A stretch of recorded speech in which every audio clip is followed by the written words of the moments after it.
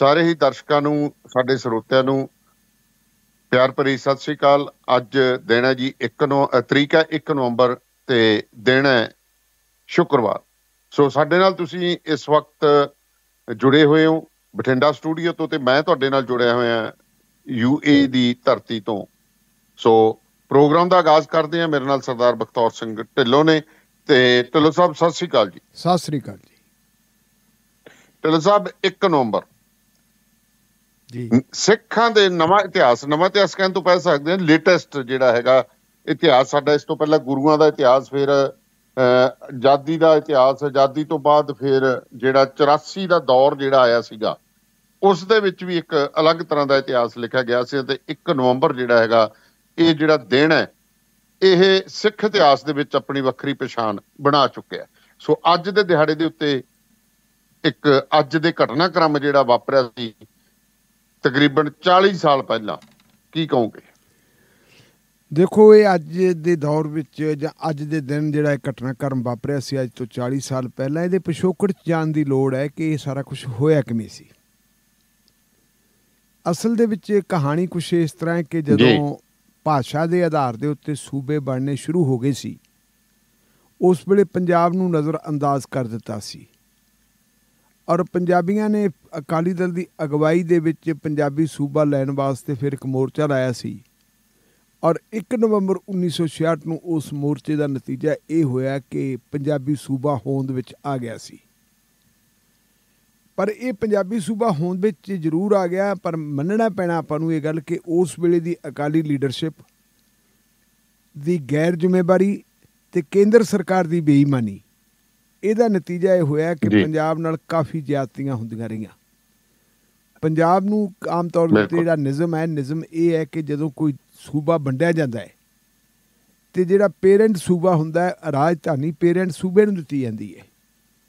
ਲੇਕਿਨ ਸਾਡੀ ਬਦਕਿਸਮਤੀ ਇਹ ਕਿ ਸਾਨੂੰ ਸਾਡੀ ਰਾਜਧਾਨੀ ਚੰਡੀਗੜ੍ਹ ਵੀ ਨਹੀਂ ਦਿੱਤੀ ਗਈ ਸੀ ਜਿਹੜੀ ਪੰਜਾਬ ਦੇ ਪਿੰਡਾਂ ਨੂੰ ਉਜਾੜ ਕੇ ਬਣਾਈ ਗਈ ਸੀ। ਨਾ ਹੀ ਸਾਨੂੰ ਜਿਹੜਾ ਹੈੱਡਵਰਕਸ ਦਾ ਪ੍ਰਬੰਧ ਦਿੱਤਾ ਗਿਆ ਸੀ ਉਹਨੂੰ ਵੀ ਸਾਂਝੇ ਕੇਂਦਰ ਨੇ ਆਪਣੇ ਹੱਥ ਵਿੱਚ ਰੱਖ ਲਿਆ। ਤੇ ਪੰਜਾਬੀ ਬੋਲਦੇ ਇਲਾਕੇ ਆ ਜਿਹੜੇ ਕਾਫੀ ਸਾਰੇ ਉਹ ਪੰਜਾਬ ਤੋਂ ਬਾਹਰ ਰੱਖਦੇ ਸੀ। ਮੇਰਾ ਇਹ ਮੰਨਣਾ ਹੈ ਕਿ ਅਸਲ ਦੇ ਵਿੱਚ ਅੰਦੋਲਨ ਸੀ ਪੰਜਾਬੀ ਸੂਬੇ ਦਾ। ਤੇ ਪੰਜਾਬੀ ਸੂਬੇ ਦੇ ਅੰਦੋਲਨ ਨੂੰ ਪੰਜਾਬੀ ਭਾਸ਼ਾ ਦੇ ਆਧਾਰ ਤੇ ਸੂਬਾ ਬਣਾਉਣ ਦੀ ਬਜਾਏ ਸਾਡੀ ਬੇੜੇ ਦੀ ਲੀਡਰਸ਼ਿਪ ਨੇ ਇਹ ਸੋਚਿਆ ਕਿ ਸਿੱਖ ਬਹੁ ਗਿਣਤੀ ਵਾਲਾ ਸੂਬਾ ਬਣਾ ਲਿਆ ਜਾਵੇ ਤੇ ਉਹਦੇ ਚ ਆਪਾਂ ਆਪਦੀ ਸਰਕਾਰ ਬਣਾ ਸਕਦੇ ਨਹੀਂ ਤਾਂ ਆਪਣੀ ਕਦੇ ਸਰਕਾਰ ਨਹੀਂ ਬਣਨੀ। ਪਰ ਉਹ ਇੱਕ ਇਤਿਹਾਸਕ ਸਚਾਈ ਨੂੰ ਭੁੱਲ ਗਏ ਸੀ। ਆਪਾਂ ਜਿਸ ਸ਼ਖਸ ਨੂੰ ਯਾਦ ਕਰਦੇ ਆ ਸਿੱਖ ਰਾਜੇ ਵਜੋਂ ਇੱਕ ਸੈਕੂਲਰ ਰਾਜੇ ਵੱਲੋਂ ਉਹਦਾ ਨਾਮ ਮਹਾਰਾਜਾ ਰਣਜੀਤ ਸਿੰਘ। ਮਹਾਰਾਜਾ ਰਣਜੀਤ ਸਿੰਘ ਦੇ ਰਾਜ ਭਾਗ ਦੇ ਵਿੱਚ ਜੇ ਆਪਾਂ ਦੇਖੀਏ ਦਾਨੇ ਵਾਲਾ ਗਿਆ ਸਾਹਿਬ ਉਦੋਂ ਸਿੱਖਾਂ ਦੀ ਪਾਪੂਲੇਸ਼ਨ ਤਾਂ ਬਹੁਤ ਘੱਟ ਸੀ। 12-13% ਪਾਪੂਲੇਸ਼ਨ ਸੀ। ਲੇਕਿਨ 12-13% ਵਾਲੀ ਪਾਪੂਲੇਸ਼ਨ ਦੇ ਰਾਜੇ ਨੇ ਰਾਜ ਕੀਤਾ ਕਿੱਡੇ ਵੱਡੇ ਪੰਜਾਬ ਤੇ। ਦਿੱਲੀ ਤੋਂ ਲੈ ਕੇ ਅਫਗਾਨਿਸਤਾਨ ਤੱਕ ਉਹ ਪੰਜਾਬ ਸੀ। ਇਸ ਕਰਕੇ ਬੜਾ ਕੁਝ ਆਪਾਂ ਨੂੰ ਦੇਖਣਾ ਪੈਣਾ ਹੈ ਕਿ ਜਿਹੜਾ ਹੈਗਾ ਸਾਡੀ ਜਿਹੜੀ ਲੀਡਰਸ਼ਿਪ ਨੇ ਆਪਣੇ ਹਿੱਤਾਂ ਦੇ ਲਈ, ਆਪਣੀ ਖੁਦਗਰਜ਼ੀ ਦੇ ਲਈ ਕਿ ਇੱਕ ਅਜਿਹੇ ਸੂਬਾ ਬਣੇ ਜੋ ਕੁਝ ਹੋਇਆ ਸਾਡੇ ਨਾਲ, ਉਹਦੇ ਲਈ ਉਹ ਵੀ ਜ਼ਿੰਮੇਵਾਰ ਹੈ। ਇਸੇ ਕਰਕੇ ਮੈਂ ਕਿਹਾ ਕਿ ਪੰਜਾਬ ਜਿਹੜੀ ਸਾਡੀ ਪੰਜਾਬ ਆਪਣੀ ਅਕਾਲੀ ਲੀਡਰਸ਼ਿਪ ਦੀ ਗੈਰ ਜ਼ਿੰਮੇਵਾਰੀ ਤੇ ਕੇਂਦਰ ਦੀ ਬੇਈਮਾਨੀ, ਉਹਦੇ ਵਿੱਚੋਂ ਫਿਰ ਨਿਕਲਿਆ ਧਰਮ ਯੁੱਧ ਅੰਦੋਲਨ। ਧਰਮ ਯੁੱਧ ਅੰਦੋਲਨ ਦਾ ਜਿਹੜਾ ਪਹਿਲਾ ਪੜਾਅ ਉਹ ਆਰਥਿਕ ਸੀ। ਜਦੋਂ ਐਸਵਾਈਐਲ ਦਾ ਟੱਕ ਲਾਇਆ ਸੀ ਇੰਦਰਾ ਗਾਂਧੀ ਨੇ ਕਪੂਰੀ ਦੇ ਵਿੱਚ। ਉਸ ਵੇਲੇ ਅਸਲ ਦੇ ਵਿੱਚ ਵਿਰੋਧ ਤਾਂ ਕੀਤਾ ਸੀ ਇਹ ਕਿ ਸਾਡੇ ਪਾਣੀ ਤੇ ਡਾਕਾ ਮਾਰਿਆ ਜਾ ਰਿਹਾ ਪਰ ਉਸੇ ਸਮੇਂ ਦੇ ਵਿੱਚ ਸੰਤ ਜਰਨੈਲ ਸਿੰਘ ਪਿੰਡਰਾਂ ਵਾਲਿਆਂ ਦੇ ਦੋ ਸਾਥੀ ਹੈ ਜਿਹੜੇ ਜਿਨ੍ਹਾਂ ਦੇ ਅਸਲੇ ਦੀ ਲਾਇਸੈਂਸਾਂ ਦੀ ਜਿਹੜੀ ਰਿਨਿਊਲ ਦੀ ਡੇਟ ਟੱਪ ਗਈ ਸੀ, ਉਹਨਾਂ ਦੀ ਗ੍ਰਿਫਤਾਰੀ ਹੋ ਜਾਂਦੀ ਹੈ। ਉਹ ਗ੍ਰਿਫਤਾਰੀ ਹੋਣ ਦੇ ਉੱਤੇ ਫਿਰ ਉਹ ਵੀ ਆਪਣਾ ਇੱਕ ਮੋਰਚਾ ਲਾ ਲੈਂਦੇ ਹੈ। ਦੋ ਮੋਰਚੇ ਹੋ ਗਏ। ਇੱਕ ਇੱਕ ਪੂਰੀ ਵਾਲਾ ਮੋਰਚਾ, ਦੂਜਾ ਹੋ ਗਿਆ ਸੰਤਾਂ ਵਾਲਾ ਮੋਰਚਾ। ਔਰ ਉਹਦੇ ਨਾਲ ਹੀ ਫਿਰ ਉਹਨਾਂ ਦਿਨਾਂ ਦੇ ਵਿੱਚ ਤੁਹਾਨੂੰ ਪਤਾ ਉਸੇ ਸਮੇਂ ਦੇ ਦੌਰਾਨ ਲਾਲਾ ਜਗਤ ਨਰੈਣ ਦਾ ਕਤਲ ਹੋ ਜਾਂਦਾ ਤੇ ਸੰਤ ਜਰਨੈਲ ਸਿੰਘ ਪਿੰਡਰਾਂ ਵਾਲਿਆਂ ਨੂੰ ਚ ਇਨਵੋਲਵ ਕੀਤਾ ਜਾਂਦਾ ਹੈ। ਕਰਦਿਆਂ ਕਰਾਉਂਦਾ ਪ੍ਰਸਥਿਤੀਆਂ ਇਹ ਹੋ ਗਈਆਂ ਕਿ ਅਕਾਲੀ ਦਲ ਵਾਲਾ ਮੋਰਚਾ ਜਿਹੜਾ ਸੀ ਅਕਾਲੀ ਦਲ ਉਹਨੂੰ ਚਲਾ ਨਹੀਂ ਸਕੇ। ਔਰ ਇਹਨਾਂ ਨੇ ਆਪਣਾ ਮੋਰਚਾ ਉੱਥੋਂ ਚੁੱਕਿਆ ਤੇ ਇਹ ਦਰਬਾਰ ਸਾਹਿਬ ਕੰਪਲੈਕਸ ਦੇ ਵਿੱਚ ਲੈ ਆਏ। ਉਧਰੋਂ ਸੰਤ ਜਰਨੈਲ ਸਿੰਘ ਪਿੰਡਰਾਂ ਵਾਲੇ ਵੀ ਆਪਣੇ ਜਿਹੜੇ ਹੈਗੇ ਆ ਸਿੰਘਾਂ ਨੂੰ ਲੈ ਕੇ ਤੇ ਉੱਥੇ ਆ ਗਏ ਤੇ ਫਿਰ ਇੱਕ ਸਾਂਝਾ ਮੋਰਚਾ ਬਣਾ ਲਿਆ ਜਿਹਦਾ ਨਾਮ ਰੱਖ ਲਿਆ ਸੀ ਧਰਮਜੁੱਧ ਮੋਰਚਾ। ਉਹ ਧਰਮਯੁੱਧ ਮੋਰਚੇ ਦੇ ਰਾਹੀਂ ਬਹੁਤ ਸਾਰੇ ਲੋਕਾਂ ਨੂੰ ਗ੍ਰਿਫਤਾਰ ਵੀ ਕਰਾਇਆ ਬੜਾ ਕੁਝ ਕਰਵਾਇਆ ਤੇ ਉਹਦੇ ਵਿੱਚੋਂ ਫਿਰ ਨਿਕਲਿਆ ਇੱਕ ਬਹੁਤ ਵੱਡਾ ਦੁਖਾਂਤ ਜਿਹਨੂੰ ਅਸੀਂ ਆਪਰੇਸ਼ਨ ਬਲੂ ਸਟਾਰ ਕਹਿ ਦਿੰਦੇ ਆ ਦਰਬਾਰ ਸਾਹਿਬ ਦੇ ਉੱਤੇ ਫੌਜੀ ਹਮਲਾ। ਉਸ ਫੌਜੀ ਹਮਲੇ ਨੇ ਸਮੁੱਚੀ ਸਿੱਖ ਕੌਮ ਨੂੰ ਝੰਜੋੜ ਕੇ ਰੱਖਤਾ ਤੇ ਨਤੀਜਾ ਫਿਰ ਇਹ ਹੋਇਆ ਕਿ ਬਹੁਤ ਸਾਰੇ ਲੋਕਾਂ ਦੇ ਵਿੱਚ ਇੰਨੀ ਜ਼ਿਆਦਾ ਬੇਚੈਨੀ ਫੈਲ ਗਈ। ਉਹ ਇੰਨੇ ਜ਼ਿਆਦਾ ਫਰਸਟ੍ਰੇਟ ਹੋ ਗਏ ਕਿ ਉਹ ਕੁਝ ਵੀ ਕਰਨ ਨੂੰ ਤਿਆਰ ਹੋ ਗਏ। ਤੇ ਇਹਦਾ ਫਿਰ ਜਿਹੜਾ ਹੈਗਾ ਸਭ ਤੋਂ ਵੱਡਾ ਦੁਖਾਂਤ ਵਾਪਰਦਾ 31 ਅਕਤੂਬਰ ਨੂੰ। 31 ਅਕਤੂਬਰ ਨੂੰ ਇੰਦਰਾ ਗਾਂਧੀ ਜਿਸ ਵੇਲੇ ਸਵੇਰੇ ਸਵੇਰੇ ਇੱਕ ਕੋਈ ਇੰਗਲੈਂਡ ਦੇ ਵਿੱਚੋਂ ਕੋਈ ਫਿਲਮ ਮੇਕਰ ਆਇਆ ਸੀ ਜਿਹਨੇ ਡਾਕੂਮੈਂਟਰੀ ਫਿਲਮ ਬਣਾਉਣੀ ਸੀ। ਉਹਨੂੰ ਉਹਨੇ ਆਪਣੀ ਇੰਟਰਵਿਊ ਵਗੈਰਾ ਦੇਣੀ ਸੀ ਉਹਦੇ ਨਾਲ ਗੱਲਬਾਤ ਕਰਨੀ ਸੀ ਉਹ ਡਾਕੂਮੈਂਟਰੀ ਬਣਨੀ ਸੀ। 31 ਅਕਤੂਬਰ ਤੋਂ ਪਹਿਲਾਂ ਇੱਕ ਦਿਨ ਪਹਿਲਾਂ 30 ਅਕਤੂਬਰ ਨੂੰ ਜਦੋਂ ਇੰਦਰਾ ਗਾਂਧੀ ਪਾਰਲੀਮੈਂਟ ਦੇ ਵਿੱਚੋਂ ਬਾਹਰ ਨਿਕਲਦੀ ਹੈ ਤੇ ਉਸ ਵੇਲੇ ਸੁਬਰਾਮਨੀਅਮ ਸਵਾਮੀ ਵੀ ਪਾਰਲੀਮੈਂਟ ਨੂੰ ਜਾਂਦੇ ਹੈ ਦੋਨਾਂ ਦਾ ਆਮਣਾ ਸਾਹਮਣਾ ਹੁੰਦਾ ਤੇ ਫਿਰ ਇੰਦਰਾ ਗਾਂਧੀ ਨੇ ਉਹਦੇ ਕੋਲੇ ਪਛਤਾਵਾ ਵੀ ਕੀਤਾ ਕਿ ਮੈਨੂੰ ਇਹ ਪਤਾ ਲੱਗ ਗਿਆ ਲੋਕ ਮੈਨੂੰ ਛੱਡਣਗੇ ਨਹੀਂ। ਮੈਂ ਬਚ ਨਹੀਂ ਸਕਦੀ ਹੁਣ ਮੈਂ ਕਤਲ ਹੋਊਂਗੀ। ਤੇ ਫਿਰ ਉੜੀਸਾ ਦੇ ਵਿੱਚ ਜਿਹੜੀ ਉਹਨਾਂ ਦੀ ਜਿਹੜੀ ਆਖਰੀ ਤਕਰੀਰ ਆ ਉਹਦੇ ਵਿੱਚੋਂ ਵੀ ਉਹਨਾਂ ਦੀ ਫਰਸਟ੍ਰੇਸ਼ਨ ਜਿਹੜੀ ਆ ਝਲਕਦੀ ਹੈ ਜਦੋਂ ਕਹਿੰਦੀ ਸੀ ਕਿ ਇਸ ਦੇਸ਼ ਦੀ ਏਕਤਾ ਤੇ ਅਖੰਡਤਾ ਵਾਸਤੇ ਮੈਂ ਆਪਣੇ ਖੂਨ ਦਾ ਇੱਕ ਕਤਰਾ ਵਹਾ ਦੂੰ। ਰਾਤ ਨੂੰ ਆਈ ਬੜੀ ਬੇਚੈਨ ਰਹੀ ਇਹ ਹਿਸਟਰੀ ਦੱਸਦੀ ਹੈ ਸਵੇਰੇ ਉੱਠੀ ਚਾਹ ਪਾਣੀ ਪੀਤਾ ਚਾਹ ਪਾਣੀ ਪੀਣ ਤੋਂ ਬਾਅਦ ਉਹਨੇ ਨਾਸ਼ਤਾ ਕੀਤਾ। ਤੇ ਫਿਰ ਉਹ ਜਿਹੜੀ ਜਿਹੜਾ ਉਹ ਕੋਈ ਜਿਹੜਾ ਪੀਟਰ ਨਾਂ ਦਾ ਬੰਦਾ ਆਇਆ ਸੀ ਉਹਦੀ ਡਾਕੂਮੈਂਟਰੀ ਬਣਾਉਣ ਵਾਸਤੇ ਉਹਦੇ ਵਾਲੇ ਪਾਸੇ ਨੂੰ ਤੁਰਦੀ ਹੈ। ਜਾ ਰਹੀ ਹੈ ਤੇ ਰਸਤੇ ਦੇ ਵਿੱਚ ਜਿਹੜਾ ਉਹਦਾ ਕਿਸੇ ਜ਼ਮਾਨੇ 'ਚ ਬੜਾ ਵਿਸ਼ਵਾਸ ਪਾਤਰ ਰਿਹਾ ਬੇਅੰਤ ਸਿੰਘ ਬੇਅੰਤ ਸਿੰਘ ਆਪਣੇ ਪਿਸਤੌਲ ਦੇ ਵਿੱਚੋਂ ਕੁਝ ਗੋਲੀਆਂ ਚਲਾਉਂਦਾ ਗੋਲੀਆਂ ਇੰਦਰਾ ਗਾਂਧੀ ਨੂੰ ਲੱਗ ਜਾਂਦੀਆਂ।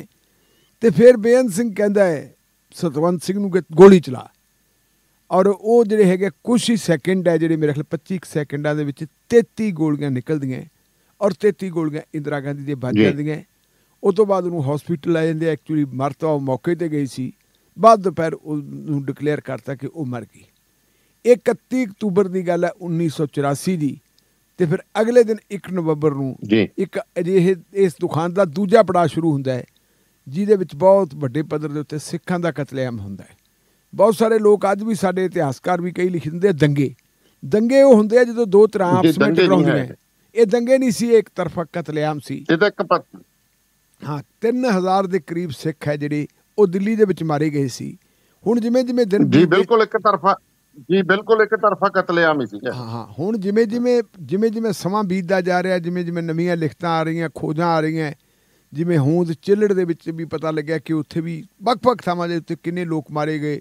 ਤੁਹਾਡੇ ਪਰੇ ਬੁਕਾਰੋ, ਵਗੈਰਾ ਨਾਗਪੁਰ ਕਾਨਪੁਰ ਵਗੈਰਾ, ਬਹੁਤ ਸਾਰੇ ਥਾਵਾਂ ਦੇ ਉੱਤੇ ਬੜਾ ਬੜਾ ਵੱਡਾ ਦੁਖਾਂਤ ਹੋਇਆ ਸੀ। ਉਸ ਦੁਖਾਂਤ ਨੇ ਇਹ ਸੱਤ ਤੱਕ ਭਾਈਚਾਰੇ ਨੂੰ ਝੰਬਤਾ ਕਿ ਉਹਦੇ ਵਿੱਚੋਂ ਹੀ ਫਿਰ ਅਗਾ ਅਗਲਾ ਦੁਖਾਂਤ ਨਿਕਲਦਾ ਹੈ। ਇੰਦਰਾ ਗਾਂਧੀ ਦੇ ਕਤਲ ਤੋਂ ਬਾਅਦ ਫਿਰ ਪੰਜਾਬ ਦੇ ਵਿੱਚ ਇੱਕ ਅਜਿਹੀ ਸਰਕਾਰ ਬਣਦੀ ਹੈ, ਜਿਹੜੀ ਸਰਕਾਰ ਨੂੰ ਆਪਾਂ ਕਹਿ ਸਕਦੇ ਕਿ ਬਹੁਤ ਹੀ ਜ਼ਾਲਮ ਸਰਕਾਰ ਸੀ 1992 ਦੇ ਵਿੱਚ, ਬੇਅੰਤ ਸਿੰਘ ਵਾਲੀ। ਔਰ ਉਸ ਸਰਕਾਰ ਨੇ ਵੀ ਕਤਲੇਆਮ ਜਾਰੀ ਰੱਖਿਆ। ਔਰ ਉਸੇ ਸਮੇਂ ਦੌਰਾਨ ਸਰਦਾਰ ਆਪਣਾ ਜਸਵੰਤ ਸਿੰਘ ਖਾਲੜਾ ਜਿਹੜੇ ਇੱਕ ਮਨੁੱਖੀ ਅਧਿਕਾਰ ਕਾਰਕੁਨ ਵਜੋਂ ਜਿਨ੍ਹਾਂ ਨੇ ਅਣਪਛਾਤੀਆਂ ਲਾਸ਼ਾਂ ਦੀ ਪਛਾਣ ਕੀਤੀ ਸੀ 25000 ਲਾਸ਼ਾਂ ਦੀ ਉਹਨਾਂ ਨੂੰ ਵੀ ਜਦੋਂ ਲਾਸ਼ ਦੇ ਵਿੱਚ ਤਬਦੀਲ ਕਰ ਦਿੱਤਾ ਜਾਂਦਾ ਹੈ ਤਾਂ ਫਿਰ ਇੱਕ ਨਵਾਂ ਜਿਹੜਾ ਹੈਗਾ ਦੁਖਾਂਤ ਸ਼ੁਰੂ ਹੁੰਦਾ ਹੈ ਜਦੋਂ ਦਲਾਵਰ ਸਿੰਘ ਤੇ ਬਲਵੰਤ ਸਿੰਘ ਰਾਜੋਆਣਾ ਜਗਤਾਰ ਸਿੰਘ ਤਾਰਾ ਜਗਤਾਰ ਸਿੰਘ ਹਵਾਰਾ ਇਹਨਾਂ ਦੇ ਨਾਲ ਤਾਲਮੇਲ ਕਰਕੇ ਬੱਬਰ ਖਾਲਸਾ ਨਾਲ ਤਾਲਮੇਲ ਕਰਕੇ ਉਸ ਵੇਲੇ ਦੇ ਮੁੱਖ ਮੰਤਰੀ ਬੇਅੰਤ ਸਿੰਘ ਦਾ ਕਤਲ ਕਰ ਦਿੰਦੇ ਐ ਔਰ ਉਹ ਦੁਖਾਂਤ ਉਦੋਂ ਵੀ ਵੱਡਾ ਹੈ ਸੋ ਇੱਕ ਅਜਿਹਾ ਦੁਖਾਂਤ ਹੈ ਜਿਹੜੇ ਦੁਖਾਂਤ ਨੂੰ ਨਾ ਭੁਲਾਇਆ ਜਾ ਸਕਦਾ ਹੈ ਨਾ ਇਸ ਦੁਖਾਂਤ ਦਾ ਕਦੇ ਕੋਈ ਹੱਲ ਹੋ ਸਕਦਾ ਹੈ। ਕਿਉਂਕਿ ਅਸਲ ਦੇ ਵਿੱਚ ਕਹਾਣੀ ਕੀ ਹੈ? ਜ਼ਿੰਮੇਵਾਰ ਕੌਣ ਹੈ? ਹੂ ਇਜ਼ ਦਾ ਗਿਲਟੀ ਜੇ ਆਪਾਂ ਗਿਲਟੀ ਕੱਲਾ ਇਹ ਦੇਖਾਂਗੇ ਕਿ ਆਪਰੇਸ਼ਨ ਬਲੂ ਸਟਾਰ ਕੀਤਾ ਕਿ ਇਹ ਨਹੀਂ। ਇਹ ਜਿਸ ਦਿਨ ਤੋਂ ਮਤਲਬ ਸਾਡੇ ਨਾਲ ਜ਼ਿਆਦਤੀਆਂ ਹੁੰਦੀਆਂ ਰਹੀਆਂ ਜਿਹੜੀਆਂ ਸਾਡੀਆਂ ਬੇਈਮਾਨੀਆਂ ਸਾਡੀ ਲੀਡਰਸ਼ਿਪ ਦੀਆਂ ਬੇਈਮਾਨੀਆਂ ਉਹਨਾਂ ਨੂੰ ਵੀ ਦੇਖਣਾ ਪੈਣਾ ਹੈ। ਜਿਹੜੀ ਕੇਂਦਰ ਦੀ ਸਾਡੇ ਨਾਲ ਜ਼ਿਆਦਤੀ ਹੈ ਧੱਕਾ ਉਹਨੂੰ ਵੀ ਦੇਖਣਾ ਪੈਣਾ ਹੈ। ਜਿਹੜੀ ਗੈਰ ਜ਼ਿੰਮੇਵਾਰੀ ਹੈ ਜਿਵੇਂ ਤੁਸੀਂ ਤੁਹਾਨੂੰ ਪਤਾ ਹੀ ਹੈ ਇਸ ਗੱਲ ਦਾ ਕਿ ਸੰਤ ਫਤਿਹ ਸਿੰਘ ਹੋਰਾਂ ਨੇ ਜਿਹੜੇ ਅਗਨ ਕੁੰਡ ਵੀ ਬਣਾ ਲਏ ਸੀ ਕਿ ਜੀ ਅਸੀਂ ਕੁਰਬਾਨੀ ਦੇਵਾਂਗੇ ਫਿਰ ਕੁਰਬਾਨੀਆਂ ਦੇਣ ਤੋਂ ਭੱਜਣਾ ਇਹ ਸਾਰਾ ਕੁਝ ਹੁੰਦਾ ਹੈ। ਉਹਦਾ ਨਤੀਜਾ ਦਾਨੇ ਵਾਲੀ ਸਾਹਿਬ ਅੱਜ ਜਿਹੜਾ ਹੈਗਾ ਉਹ ਕੌਮ ਜਿਹੜੀ ਕੌਮ ਨੇ ਇਸ ਦੇਸ਼ ਨੂੰ ਆਜ਼ਾਦ ਕਰਵਾਉਣ ਵਾਸਤੇ ਸਭ ਤੋਂ ਵੱਧ ਕੁਰਬਾਨੀਆਂ ਦਿੱਤੀਆਂ ਹੋਣ 80% ਜਿਹੜੀ ਹੈਗੀਆਂ ਫਾਂਸੀਆਂ ਦੇ ਰਸਤੇ ਇਸ ਕੌਮ ਦੇ ਯੋਧਿਆਂ ਨੇ ਝੂਲੇ ਹੋਣ। ਜਿਨ੍ਹਾਂ ਨੇ ਖੇਤੀਬਾੜੀ ਸੈਕਟਰ ਦੇ ਵਿੱਚ ਅਥਾਹ ਕੰਮ ਕਰਕੇ ਆਪਣੀ ਜ਼ਮੀਨ ਨੂੰ, ਆਪਣੀ ਧਰਤੀ ਨੂੰ ਪਲੀਤ ਬਣਾ ਲਿਆ ਹੋਵੇ ਤੇ ਦੇਸ਼ ਨੂੰ ਅੰਨ ਭੰਡਾਰ ਦੀ ਕਮੀ ਨਾ ਰਹਿਣ ਦਿੱਤੀ ਹੋਵੇ, ਉਹ ਕੌਮ ਅੱਜ ਵੀ ਜਿਹੜੀ ਐਨੀ ਆਪਣੇ ਆਪ ਨੂੰ ਬੇਗਾਨਾਪਣ ਮਹਿਸੂਸ ਕਰਦੀ ਹੈ, ਇੱਕ ਬੇਗਾਨੇਪਨ ਦਾ ਉਹਨਾਂ ਨੂੰ ਅਹਿਸਾਸ ਹੈ ਕਿ ਇਸ ਦੇਸ਼ ਦੇ ਮਾਲਕ ਹੋਣ ਦੇ ਬਾਵਜੂਦ, ਇਸ ਦੇਸ਼ ਦੇ ਹਰ ਫਰੰਟ ਤੇ ਜਦੋਂ ਇਸ ਦੇਸ਼ ਨੂੰ ਲੋੜ ਪਈ ਹੈ, ਜਦੋਂ ਆਵਾਜ਼ ਮਾਰੀ ਹੈ ਤੇ ਪੰਜਾਬੀ ਮੂਰੇ ਹੋ ਕੇ ਲੜੇ ਹੈ, ਸਿੱਖ ਮੂਰੇ ਹੋ ਕੇ ਲੜੇ ਹੈ ਲੇਕਿਨ ਉਹਨਾਂ ਨਾਲ ਜ਼ਿਆਦਤੀਆਂ ਜਿਹੜੀਆਂ ਉਹ ਲਗਾਤਾਰ ਹੁੰਦੀਆਂ ਰਹੀਆਂ। ਇਹ ਇੱਕ ਅਜਿਹਾ ਦੁਖਾਂਤ ਹੈ ਇੱਕ ਅਜਿਹਾ ਤੱਥ ਹੈ ਜਿਹਦਾ ਕਲੋਜ਼ਰ ਕੋਈ ਨਹੀਂ। ਜਿੰਨੀ ਦੇਰ ਤੱਕ ਇਹ ਸਾਰੀ ਚੀਜ਼ ਦਾ ਜ਼ਿੰਮੇਵਾਰ ਕੌਣ ਹੈ? ਜ਼ਿੰਮੇਵਾਰੀ ਦੇ ਉੱਤੇ ਹੁਣ ਆਪਾਂ ਦੇਖੀਏ ਕਿਸੇ ਨੂੰ ਸਜ਼ਾ ਹੋ ਜੂ ਸਜ਼ਾਵਾਂ ਸੂਮਾਂ ਦਾ ਕਿਹੜੀਆਂ ਹੋਣੀਆਂ ਘੱਟੋ ਘੱਟ ਇੱਕ ਸ਼ੀਸ਼ਾ ਦਾ ਸਾਹਮਣੇ ਆ ਜਣਾ। ਸ਼ੀਸ਼ਾ ਸਾਹਮਣੇ ਆਉਣ ਤੋਂ ਬਾਅਦ ਇਹਦੀ ਕਲੋਜ਼ਰ ਹੋਵੇ ਤਾਂ ਜਾ ਕੇ ਥੋੜਾ ਬਹੁਤਾ ਮਤਲਬ ਆਪਾਂ ਕਹਿ ਸਕਦੇ ਹਾਂ ਜਿਹੜੇ ਰਿਸ਼ਤੇ ਜ਼ਖਮ ਹੈ ਉਹ ਭਰਨੇ ਸ਼ੁਰੂ ਹੋ ਜਾਣਗੇ ਪਰ ਇਸ ਦੁਖਾਂਤ ਨੂੰ ਭੁਲਾਇਆ ਨਹੀਂ ਜਾ ਸਕਦਾ ਅੱਜ ਦੇ ਦਿਨ ਜੀ।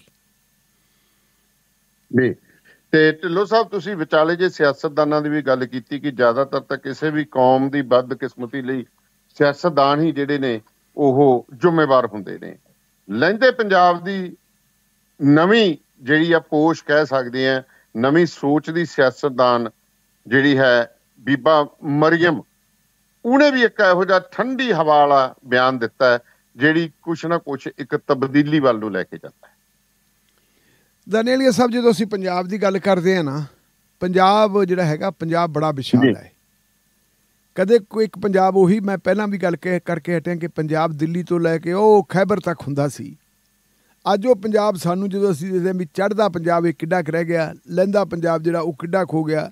ਜੇ ਸਮੁੱਚੀ ਪੰਜਾਬੀਅਤ ਦੀ ਗੱਲ ਕਰਦੇ ਆ ਆਪਾਂ ਤਾਂ ਫਿਰ ਸਾਨੂੰ ਸਾਰੀ ਦੁਨੀਆ ਦੇ ਉੱਤੇ ਨਿਗਾਹ ਮਾਰਨੀ ਪੈਣੀ ਹੈ ਕਿ ਪੰਜਾਬ ਇਸ ਵੇਲੇ ਗਲੋਬਲ ਵੀ ਹੋ ਗਿਆ। ਉਹਦੀਆਂ ਹੱਦਾਂ ਬੰਨੇ ਕੋਈ ਨਹੀਂ ਹੱਦਾਂ ਬੰਨੇ ਸਾਰੇ ਟੱਪ ਗਏ ਇਸ ਕਰਕੇ ਪੰਜਾਬ ਨੂੰ ਆਪਾਂ ਤਿੰਨ ਭਾਗਾਂ 'ਚ ਦੇਖਦੇ ਆ ਲੇਕਿਨ ਅੱਜ ਵੀ ਜੇ ਅਸੀਂ ਦੇਖੀਏ ਜਿਹੜਾ ਜਿਹੜਾ ਪਾਕਿਸਤਾਨ ਹੈ ਪਾਕਿਸਤਾਨ ਨੂੰ ਆਪਾਂ ਕਹਿ ਭਾਵੇਂ ਪਾਕਿਸਤਾਨ ਦੇਗੇ ਨਾ ਉਹਦਾ ਪਾਕਿਸਤਾਨ ਹੈ ਲੇਕਿਨ 60% ਉੱਥੋਂ ਦੀ ਪਾਪੂਲੇਸ਼ਨ ਜਿਹੜੀ ਉਹ ਪੰਜਾਬੀ ਹੈ। ਔਰ ਉੱਥੋਂ ਦੀ ਜਿਹੜੀ ਫੌਜ ਹੈ ਉੱਥੋਂ ਦੇ ਅਫਸਰਾਂ ਦੇ ਵਿੱਚ ਪੰਜਾਬੀਆਂ ਦਾ ਹੀ ਗਲਬਾ ਹੈ। ਜੇ ਆਪਾਂ ਕੱਲਾ ਜ਼ੁਲਫਕਾਰ ਲਈ ਪੱਟੂ ਪੁੱਟੋ ਨੂੰ ਛੱਡ ਦਈਏ ਬੇਨਜ਼ੀਰ ਪੁੱਟੋ ਨੂੰ ਛੱਡ ਦਈਏ ਜਿਹੜੇ ਥੋੜਾ ਥੋੜਾ ਸਮਾਂ ਰਹੇ ਹੈ ਜਾਂ ਨਵਾ ਆਪਣੇ ਤੁਹਾਡੇ ਜਿਹੜੇ ਆ ਹੁਣ ਵਾਲੇ ਪਿੱਛੇ ਜੇ ਸੀ ਕ੍ਰਿਕਟਰ ਕ੍ਰਿਕਟਰ ਜਿਹੜੇ ਪ੍ਰਾਈਮ ਮਿਨਿਸਟਰ ਖਿਡਾਰੀ ਆਪਣੇ। ਹਾਂ ਖਿਡਾਰੀ ਇਮਰਾਨ ਖਾਨ। ਹਾਂਜੀ। ਇਹਨਾਂ ਨੂੰ ਛੱਡ ਦਈਏ ਇਹ ਕੋਈ ਹਾਂ ਕੋਈ ਮਤਲਬ ਜਿਹੜਾ ਆਪਾਂ ਕਹਿ ਦਈਏ ਸਿੰਧ ਨਾਲ ਰਿਲੇਟਡ ਹੈ ਕੋਈ ਅਫਗਾਨਿਸਤਾਨ ਕੀ ਹੈ ਤੁਰਾ ਨੂੰ ਜਿਹੜਾ ਹੈਗਾ ਖੈਬਰ ਖੈਬਰ ਨੂੰ। ਹਾਂ ਹਾਂ ਫਰੰਟੀਅਰ ਨਾਲ ਹਾਂ ਖੈਬਰ ਨੂੰ ਫਰੰਟੀਅਰ ਜਿਹਨੂੰ ਸਰਹੱਦੀ ਆਪਾਂ ਇਲਾਕਾ ਕਹਿੰਦੇ ਨੇ ਉਹਦੇ ਨਾਲ ਰਿਲੇਟਡ ਹੈ। ਇਹਨਾਂ ਨੂੰ ਛੱਡ ਕੇ ਸਮੁੱਚੇ ਰੂਪ ਦੇ ਵਿੱਚ ਜੇ ਆਪਾਂ ਦੇਖੀਏ ਤਾਂ ਜ਼ਿਆਦਾ ਸਮਾਂ ਪਠਾਣਾ ਦਾ ਇਲਾਕਾ ਕਹਿ ਦਿੰਦੇ ਆ। ਪਠਾਣਾ ਦਾ ਪਠਾਣਾ ਪਠਾਣ ਹੀ ਗਿਆ ਸਮੁੱਚੇ ਰੂਪ ਦੇ ਵਿੱਚ ਪਾਕਿਸਤਾਨ ਦੇ ਉੱਤੇ ਰਾਜ ਭਾਗ ਜਿਹੜਾ ਉਹ ਪੰਜਾਬੀਆਂ ਦਾ ਹੀ ਰਿਹਾ। ਤੇ ਅੱਜ ਵੀ ਭਾਵੇਂ ਰਾਜ ਕੋਈ ਵੀ ਹੋਵੇ ਅੱਜ ਵੀ ਜੇ ਆ ਜਿਹੜਾ ਪਰਿਵਾਰ ਹੈ ਜਿਹੜਾ ਸ਼ਰੀਫ ਪਰਿਵਾਰ ਹੈ ਇਹ ਸ਼ਰੀਫ ਪਰਿਵਾਰ ਵੀ ਤਾਂ ਪੰਜਾਬੀ ਹੈ। ਮੀਆਂ ਨਵਾਜ਼ ਸ਼ਰੀਫ ਦੇ ਪਿਤਾ ਜੀ ਜਿਹੜੇ ਹੈਗੇ ਆ ਉਹ ਜਾਤੀ ਉਮਰਾ ਪਿੰਡ ਹੈ। ਅੰਮ੍ਰਿਤਸਰ ਜ਼ਿਲ੍ਹੇ ਸ਼ਾਇਦ ਹੁਣ ਉਹ ਮੇਰਾ ਖਿਆਲ ਹੈ ਤਰਨਤਾਰਨ ਚ ਨਾ ਹੋ ਗਿਆ ਵੇ ਪੁਰਾਣਾ ਅੰਮ੍ਰਿਤਸਰ ਹੈ। ਉਹਦੇ ਵਿੱਚ ਉਹਨਾਂ ਦਾ ਪਿੰਡ ਸੀ ਤੇ ਦਾਨੇ ਵਾਲੀਆ ਸਾਹਿਬ ਮੈਨੂੰ ਜਾਣਕਾਰੀ ਮਿਲੇ ਪਿਛਲੇ ਦਿਨਾਂ 'ਚ ਮਿਲੀ ਕਿ ਕਰਤਾਰਪੁਰ ਸਾਹਿਬ ਦੇ ਵਿੱਚ ਇੱਕ ਜਦੋਂ ਆਪਣੇ ਧਾਰਮਿਕ ਯਾਤਰਾ ਤੇ ਜਾਂਦੇ ਆ ਸਾਡੇ ਸਿੱਖ ਸ਼ਾਇਦ ਕੋਈ ਉੱਥੇ ਦਿਨ ਦਿਹਾੜਾ ਸੀ ਤੇ ਉਸ ਦਿਨ ਦਿਹਾੜੇ ਦੇ ਉੱਤੇ ਬੀਬੀ ਮਰੀਮ ਸ਼ਰੀਫ ਵੀ ਆਈ ਸੀਗੀ। ਤੇ ਉਦੋਂ ਵੀ ਮਰੀਮ ਸ਼ਰੀਫ ਨੇ ਜਿਹੜੀ ਹੈਗੀ ਆਪਣੇ ਪੰਜਾਬੀਅਤ ਦਾ ਤੇ ਪੰਜਾਬ ਪੰਜਾਬ ਨਾਲ ਰਿਲੇਟਡ ਹੋਣ ਦਾ ਇੱਕ ਵਾਸਤਾ ਦਿੱਤਾ ਸੀ। ਫਿਰ ਆਪਣੇ ਪਿਤਾ ਨਾਲ ਗੱਲਬਾਤ ਕਰਦਿਆਂ ਵੀ ਉਹਨੇ ਕਿਹਾ ਕਿ ਮੇਰਾ ਜੀ ਕਰਦਾ ਹੈ ਕਿ ਮੈਂ ਪੰਜਾਬ ਜਾਵਾਂ। ਤੇ ਉਹਦੇ ਪਿਤਾ ਨੇ ਕਿਹਾ ਪੰਜਾਬ ਨਹੀਂ ਤੂੰ ਸ਼ਿਮਲੇ ਵੀ ਜਾ ਤੂੰ ਸਾਰੇ ਜਾ ਆਪਣਾ ਹੀ ਤਾਂ ਸਾਰਾ ਹੈ ਸਾਰਾ ਕੁਝ ਔਰ ਉਦੋਂ ਨਵਾਜ਼ ਸ਼ਰੀਫ ਹੋਰਾਂ ਨੇ ਕਿਹਾ ਸੀ ਕਿ ਮੇਰੇ ਬਾਪ ਦਾ ਜਿਹੜਾ ਪਾਸਪੋਰਟ ਹੈ ਉਸ ਪਾਸਪੋਰਟ ਦੇ ਵਿੱਚ ਵੀ ਜਿਹੜੀ ਉਹਦੀ ਜਨਮ ਭੋਏ ਹੈ ਉਹ ਜਾਤੀ ਉਮਰਾ ਲਿਖੀ ਹੋਈ ਹੈ। ਔਰ ਉਧਰਲੇ ਪੰਜਾਬ ਦੇ ਵਿੱਚ ਵੀ ਜਿਹੜਾ ਲੈਂਦੇ ਪੰਜਾਬ ਦੇ ਵਿੱਚ ਵੀ ਉਹਨਾਂ ਨੇ ਜਾਤੀ ਉਮਰਾ ਲਿਖੀ ਹੋਈ ਹੈ। ਹੁਣ ਜੇ ਆਪਾਂ ਦੇਖੀਏ ਜਿਹੜੀ ਨਵੀਂ ਪੀੜ੍ਹੀ ਹੈ ਤੁਸੀਂ ਵੀ ਪਾਕਿਸਤਾਨ 'ਚ ਗਏ ਹੋ ਮੈਂ ਵੀ ਪਾਕਿਸਤਾਨ ਦੇ ਵਿੱਚ ਗਏ ਹਾਂ ਨਵੀਂ ਪੀੜ੍ਹੀ ਜਿਹੜੀ ਹੈਗੀ ਉਹਨੂੰ ਇਸ ਗੱਲ ਦਾ ਬੜਾ ਉਦਰੇਮਾ ਹੈ ਕਿ ਪੰਜਾਬ ਜਿਹੜਾ ਹੈਗਾ ਇਹ ਕੱਟਿਆ ਕਿਉਂ ਗਿਆ? ਇਹ ਪੰਜਾਬ ਲੁੱਟਿਆ ਕਿਉਂ ਗਿਆ? ਇਹਦੇ ਦੋ ਹਿੱਸੇ ਕਿਉਂ ਹੋ ਗਏ? ਅਕਸਰ ਜਦੋਂ ਨਵੀਂ ਪੀੜ੍ਹੀ ਨਾਲ ਗੱਲ ਕਰਦੇ ਆ ਤੇ ਉਹ ਸਵਾਲ ਕਰਦੇ ਆ ਕਿ ਸਾਡਾ ਕੀ ਕਸੂਰ ਸੀ? ਸਾਨੂੰ ਸਾਡੇ ਦੇਸ਼ ਨਾਲ ਅਲੱਗ ਕਰਦਾ। ਹਾਲਾਂਕਿ 60% ਜਿਹੜਾ ਹੈਗਾ ਇਲਾਕਾ ਉਹਨਾਂ ਕੋਲੇ ਹੈ। ਉਹ ਪਜਾਊ ਇਲਾਕਾ ਜਿਹੜਾ ਹੈਗਾ ਦਾਨੇਲੀਆ ਸਾਹਿਬ ਜਿਹੜਾ ਪੁਰਾਣਾ ਪਜਾਊ ਇਲਾਕਾ ਦੇਖਿਆ ਆਪਾਂ ਉਹ ਪਾਕਿਸਤਾਨ ਦੇ ਵਿੱਚ ਰਹਿ ਗਿਆ। ਜਿਹੜੀ ਆਪਾਸ਼ੀ ਦਾ ਪ੍ਰਬੰਧ ਹੈ ਜਿਹੜੀਆਂ ਪਹਿਲੀਆਂ ਨਹਿਰਾਂ ਉਹ ਪਾਕਿਸਤਾਨ ਦੇ ਵਿੱਚ ਰਹਿ ਗਈਆਂ। ਇਹਦੇ ਬਾਵਜੂਦ ਵੀ ਜਿਹੜੀ ਹੈਗੀ ਸਾਡੀ ਦੁਸ਼ਮਣੀ ਹੈ। ਔਰ ਇਹ ਦੁਸ਼ਮਣੀ ਜਿਹੜੀ ਹੈਗੀ ਹੈ ਇਹ ਪੋਲੀਟੀਕਲ ਦੁਸ਼ਮਣੀ ਹੈ। ਪੋਲੀਟੀਕਲੀ ਇਹਨੂੰ ਕ੍ਰੀਏਟ ਕੀਤਾ ਹੋਇਆ ਆਮ ਲੋਕਾਂ ਦੀ ਲੋਕਾਂ ਨਾਲ ਕੋਈ ਦੁਸ਼ਮਣੀ ਨਹੀਂ ਲੋਕਾਂ ਦੀ ਲੋਕਾਂ ਨਾਲ ਮੁਹੱਬਤ ਹੈ। ਸਾਡੇ ਜਿਹੜੇ ਯਾਤਰੀ ਪਾਕਿਸਤਾਨ ਦੇ ਵਿੱਚ ਜਾਂਦੇ ਐ ਉੱਥੋਂ ਦੇ ਲੋਕ ਉਹਨਾਂ ਨੂੰ ਜੱਫੀਆਂ ਪਾ ਪਾ ਕੇ ਮਿਲਦੇ ਐ ਉਹ ਜੱਫੀ ਵੀ ਪਾਉਂਦੇ ਆ ਇਮੋਸ਼ਨਲ ਵੀ ਹੋ ਜਾਂਦੇ ਆ ਉਹਨਾਂ ਦੀਆਂ ਅੱਖਾਂ ਨਮ ਵੀ ਹੋ ਜਾਂਦੀਆਂ ਤੇ ਬਹੁਤੇ ਵਾਰੀ ਜਦੋਂ ਆਪਾਂ ਢਾਬਿਆਂ ਵਗੈਰਾ ਤੇ ਜਾ ਕੇ ਚਾਹ ਪਾਣੀ ਰੋਟੀ ਵਗੈਰਾ ਖਾਂਦੇ ਆ ਤੇ ਉਹ ਲੋਕ ਪੈਸੇ ਵੀ ਨਹੀਂ ਲੈਂਦੇ ਕਹਿੰਦੇ ਨਹੀਂ ਜੀ ਤੁਸੀਂ ਸਾਡੇ ਮਹਿਮਾਨ ਹੋ। ਇੰਨਾ ਇੱਜ਼ਤ ਮਾਨ ਉਹ ਸਤਿਕਾਰ ਕਰਦੇ ਐ ਇਸ ਵੇਲੇ ਇੱਕ ਦੁਖਾਂਤ ਵਾਪਰਿਆ ਹੋਇਆ ਜਿਹਨੇ ਸਾਡੇ ਦੇਸ਼ ਦੀ ਪੋਲਿਟਿਕਸ ਨੂੰ ਵੀ ਜਿਹੜਾ ਹੈਗਾ ਪ੍ਰਭਾਵਿਤ ਕੀਤਾ ਹੋਇਆ ਹੈ ਤੇ ਜੁਡੀਸ਼ਰੀ ਨੂੰ ਵੀ ਪ੍ਰਭਾਵਿਤ ਕੀਤਾ ਹੋਇਆ ਹੈ। ਉਹ ਹੈ ਜਿਹੜਾ ਇੱਥੇ ਜਿਹੜਾ ਸਮੋਗ ਹੈ ਜਿਹਨੂੰ ਆਪਾਂ ਧੂਆਂ ਕਹਿ ਦਿੰਦੇ ਆ ਜਿਹਨੇ ਦਿੱਲੀ ਦਾ ਜਿਉਣਾ ਦੁੱਬਰ ਕੀਤਾ ਹੋਇਆ ਹੈ। ਇਲਜ਼ਾਮ ਇਹ ਲਾਇਆ ਜਾਂਦਾ ਕਿ ਦਿੱਲੀ ਦੇ ਵਿੱਚ ਜਿਹੜਾ ਧੂਆਂ ਹੋ ਰਿਹਾ ਉਹ ਧੂਏ ਦਾ ਕਾਰਨ ਜਿਹੜਾ ਪੰਜਾਬ ਹੈ ਪੰਜਾਬ ਦੇ ਵਿੱਚ ਜਿਹੜੀ ਪਰਾਲੀ ਨੂੰ ਅੱਗ ਲਾਈ ਜਾਂਦੀ ਹੈ ਉਹ ਹੈ। ਲੇਕਿਨ ਜੇ ਪਿਛਲੇ ਦਿਨਾਂ ਦੇ ਵਿੱਚ ਆਪਾਂ ਦੇਖੀਏ ਪਿਛਲੇ ਦਿਨਾਂ ਦੇ ਵਿੱਚ ਜਿਹੜੇ ਅੰਕੜੇ ਸਾਹਮਣੇ ਆਏ ਉਹਨਾਂ ਅੰਕੜਿਆਂ ਦੇ ਵਿੱਚ ਪਤਾ ਲੱਗਦਾ ਹੈ ਕਿ ਪਹਿਲਾਂ ਦੇ ਮੁਕਾਬਲਤਨ ਪੰਜਾਬ ਦੇ ਵਿੱਚ ਐਤਕੀ ਅੱਗ ਕਿਤੇ ਘੱਟ ਲੱਗੀ ਹੈ। ਲੇਕਿਨ ਦਿੱਲੀ ਜਿਹੜੀ ਹੈ ਪੋਲਿਊਟਡ ਹੈ ਉਵੇਂ ਦੀ ਉਵੇਂ ਹੈ ਉਹਦੇ ਕਾਰਨ ਦਿੱਲੀ ਵਾਲੇ ਹੋਰ ਵੀ ਹੋ ਸਕਦੇ ਸਿਰਫ ਪੰਜਾਬ ਵਾਲੇ ਨਹੀਂ। ਔਰ ਆਪਾਂ ਇਸੇ ਪ੍ਰੋਗਰਾਮ ਦੇ ਵਿੱਚ ਗੱਲ ਕਰਦੇ ਹਾਂ ਕਈ ਵਾਰੀ ਕਿਹਾ ਕਿ ਸਾਡੇ ਧੂਏ ਨੇ ਕੀ ਪਾਕਿਸਤਾਨ ਨੂੰ ਵੀ ਤੰਗ ਕੀਤਾ ਕੀ ਪਾਕਿਸਤਾਨ ਦੇ ਧੂਏ ਨੇ ਸਾਨੂੰ ਵੀ ਤੰਗ ਕੀਤਾ ਤੇ ਇਸ ਵੇਲੇ ਦੀ ਸਥਿਤੀ ਲਗਭਗ ਉਹੀ ਹੋ ਗਈ ਹੈ। ਹੁਣ ਧੂਆ ਪਾਕਿਸਤਾਨ ਦੇ ਵਿੱਚ ਵੀ ਹੈ। ਮਰੀਮ ਸ਼ਰੀਫ ਨੇ ਇੱਕ ਚਿੱਠੀ ਲਿਖੀ ਹੈ ਆਪਣੇ ਮੁੱਖ ਮੰਤਰੀ ਸਾਹਿਬ ਨੂੰ ਭਗਵੰਤ ਮਾਨ ਹੋਰਾਂ ਨੂੰ। ਜੀ। ਬਿਆਨ ਵੀ ਦਿੱਤਾ ਉਹਨਾਂ ਨੇ ਚਿੱਠੀ ਵੀ ਲਿਖੀ ਹੈ ਭਗਵੰਤ ਮਾਨ ਨੂੰ ਤੇ ਉਹਨੇ ਕਿਹਾ ਕਿ ਜਿਹੜੀ ਜਿਹੜੀ ਹਵਾ ਹੈ ਹਵਾ ਨਹੀਂ ਇਹ ਦੇਖਦੀ ਕਿ ਇਹ ਇਹ ਇਲਾਕਾ ਕਿਹੜਾ ਹੈ? ਸਰਹੱਦ ਹੈ ਜਿਹੜੀ ਹੈ ਸਿਆਸੀ ਤੌਰ ਤੇ ਸਰਹੱਦ ਹੈ।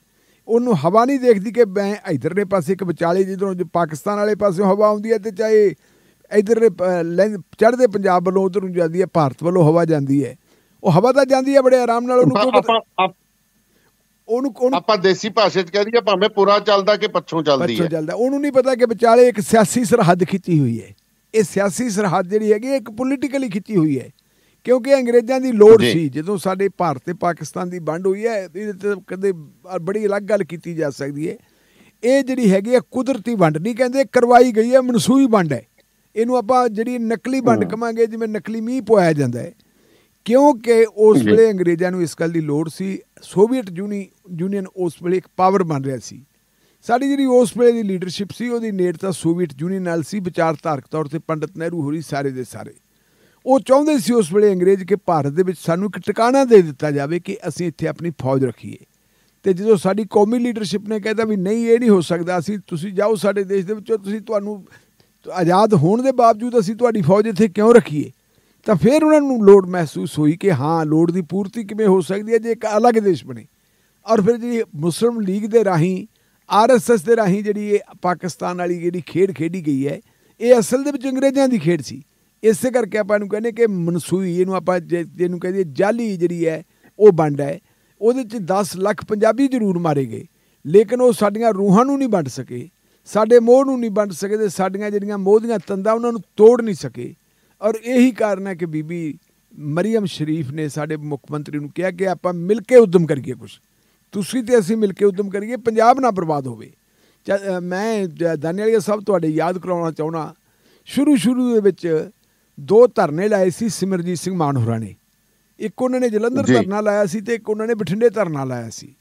ਜਿਹੜਾ ਬਠਿੰਡੇ ਜੋ ਧਰਨਾ ਲਾਇਆ ਸੀ ਮੈਂ ਉਹਨਾਂ ਨੂੰ ਸਵਾਲ ਕੀਤਾ ਮੈਂ ਕਿਹਾ ਜੀ ਤੁਸੀਂ ਇਹ ਧਰਨਾ ਕਾਦੀ ਖਾਤਰ ਲਾਇਆ? ਉਦੋਂ ਉਹਨਾਂ ਨੇ ਕਿਹਾ ਸੀ ਪਰਮਾਣੂ ਜੰਗ ਨੂੰ ਬਚਾਇਆ ਜਾਵੇ ਮਹਾ ਪੰਜਾਬ ਨੂੰ।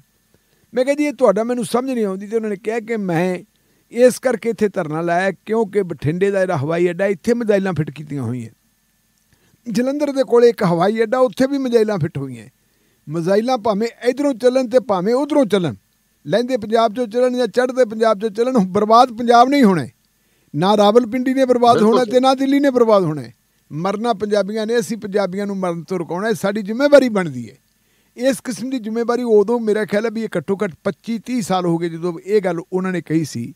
ਤੇ ਮੈਂ ਅੱਜ ਜਦੋਂ ਮੈਂ ਵੀ ਖਬਰ ਪੜ੍ਹੀ ਇਹ, ਤੇ ਮੈਨੂੰ ਬੜਾ ਸਕੂਨ ਮਿਲਿਆ ਕਿ ਨਵੀਂ ਪੀੜ੍ਹੀ ਪਾਕਿਸਤਾਨ ਦੀ ਜਿਹੜੀ ਹੈਗੀ ਹੈ ਪਾਕਿਸਤਾਨੀ ਪੰਜਾਬ ਦੀ ਲਹਿੰਦੇ ਪੰਜਾਬ ਦੀ ਮੁੱਖ ਮੰਤਰੀ ਜਿਹੜੀ ਹੈ ਮਰੀਮ ਨਵਾਜ਼, ਉਹ ਇਹ ਮਹਿਸੂਸ ਕਰਦੀ ਹੈ ਕਿ ਪੰਜਾਬ ਪੰਜਾਬੀ ਹੈ।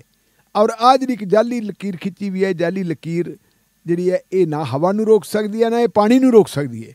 ਆਪਾਂ ਵੇਖਿਆ ਪਿਛਲੇ ਸਮੇਂ ਦੇ ਵਿੱਚ ਪਾਣੀ ਆਇਆ ਸੀ ਸਾਡੇ ਕੁਝ ਬੰਦੇ ਰੁੜ ਗਏ ਸੀ ਉਹਨਾਂ ਨੇ ਕੱਢ ਕੇ ਸਾਡੇ ਹਵਾਲੇ ਕੀਤੇ ਸੀ।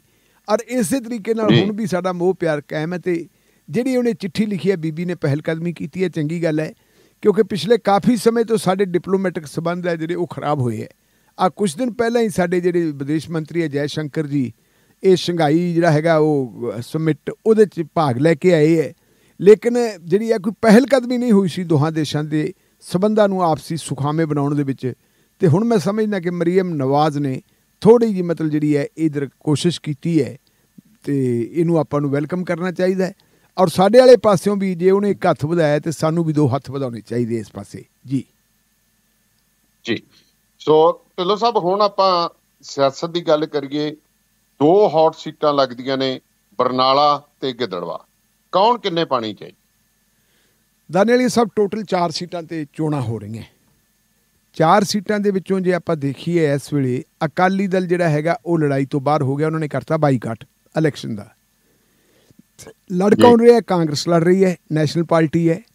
National party Bharatiya Janata party ਲੜ ਰਹੀ ਹੈ ਤੇ ਨੈਸ਼ਨਲ ਪਾਰਟੀ ਲੜ ਰਹੀ ਹੈ ਆਮ ਆਦਮੀ ਪਾਰਟੀ।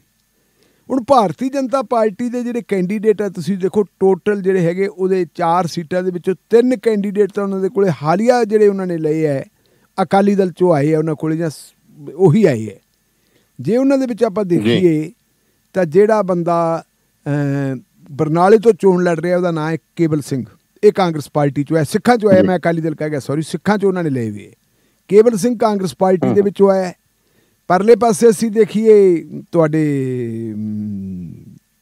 ਚੱਬੇਵਾਲ ਸੋਹਣ ਸਿੰਘ। ਠੰਡਲ ਉਹ ਅਕਾਲੀ ਦਲ ਚੋਂ ਆਇਆ ਉਹ ਵੀ ਸਿੱਖ ਫਿਰ ਅਸੀਂ ਦੇਖੀਏ। ਜਿਹੜਾ ਹੈਗਾ ਡੇਰਾ ਬਾਬਾ ਨਾਨਕ ਡੇਰਾ ਬਾਬਾ ਨਾਨਕ ਦੇ ਵਿੱਚ ਰਵੀ ਕਰਨ ਸਿੰਘ ਕਾਲੋਂ ਹੈ ਉਹ ਵੀ ਅਕਾਲੀ ਦਲ ਦੇ ਵਿੱਚ ਹੀ ਹੁੰਦਾ ਸੀ ਆ 2022 ਦੀਆਂ ਚੋਣਾਂ ਦੇ ਵਿੱਚ ਉਹਨਾਂ ਨੇ ਥੋੜੀਆਂ ਵੋਟਾਂ ਤੇ ਹਾਰੇ ਸੀ ਇਹਨਾਂ ਤੋਂ ਸੁਖਜਿੰਦਰ ਸਿੰਘ ਰੰਧਾਵਾ ਤੋਂ ਇਧਰਲੇ ਪਾਸੇ ਆਪਾਂ। ਦੇਖੀਏ ਤੇ ਜੇ ਚੌਥੀ ਸੀਟ ਦੀ ਵੀ ਗੱਲ ਕਰ ਲਈਏ ਗਿੱਦੜਵਾਹ ਦੀ ਤੇ ਗਿੱਦੜਵਾਹ ਦੇ ਵਿੱਚ ਮਨਪ੍ਰੀਤ ਸਿੰਘ ਬਾਦਲ ਹੈ ਤਾਂ ਜੇ ਇਹਦਾ ਪਿਛੋਕੜ ਦੇਖੀ ਤਾਂ ਅਕਾਲੀ ਹੈ ਲੇਕਿਨ ਫਿਰ ਉਹ।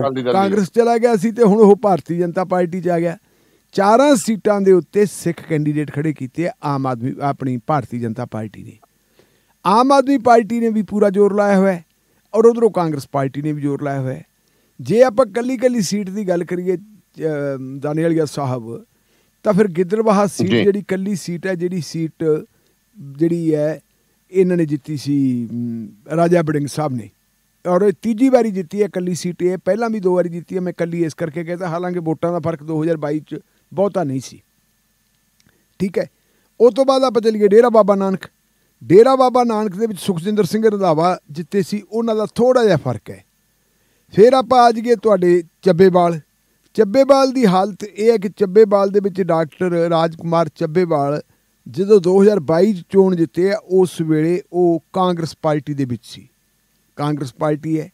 ਇੱਕੋ ਇੱਕ ਬਰਨਾਲਾ ਸੀਟ ਰਹਿੰਦੀ ਹੈ ਜਿਹੜੀ ਬਰਨਾਲਾ ਸੀਟ ਆਪਾਂ ਕਹਾਂਗੇ ਕਿ ਆਮ ਆਦਮੀ ਪਾਰਟੀ ਨੇ ਆਪਣੇ ਬਲਬੂਤੇ ਜਿੱਤੀ ਹੈ ਔਰ ਚੰਗੀਆਂ ਵੋਟਾਂ ਨਾਲ ਜਿੱਤੀ ਹੈ।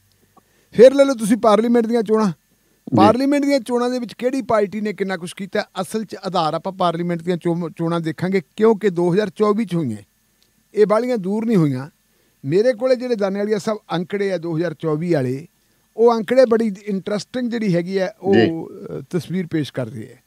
ਆਪਾਂ ਗਿੱਦੜਬਾਹਾ ਦੀ ਗੱਲ ਕਰ ਲੈਨੇ ਗਿੱਦੜਬਾਹਾ ਤੋਂ ਆਜ਼ਾਦ ਉਮੀਦਵਾਰ ਸਰਬਜੀਤ ਸਿੰਘ ਖਾਲਸਾ ਇਹਨਾਂ ਨੇ ਲਈਆਂ ਜੀ 32423 ਵੋਟਾਂ।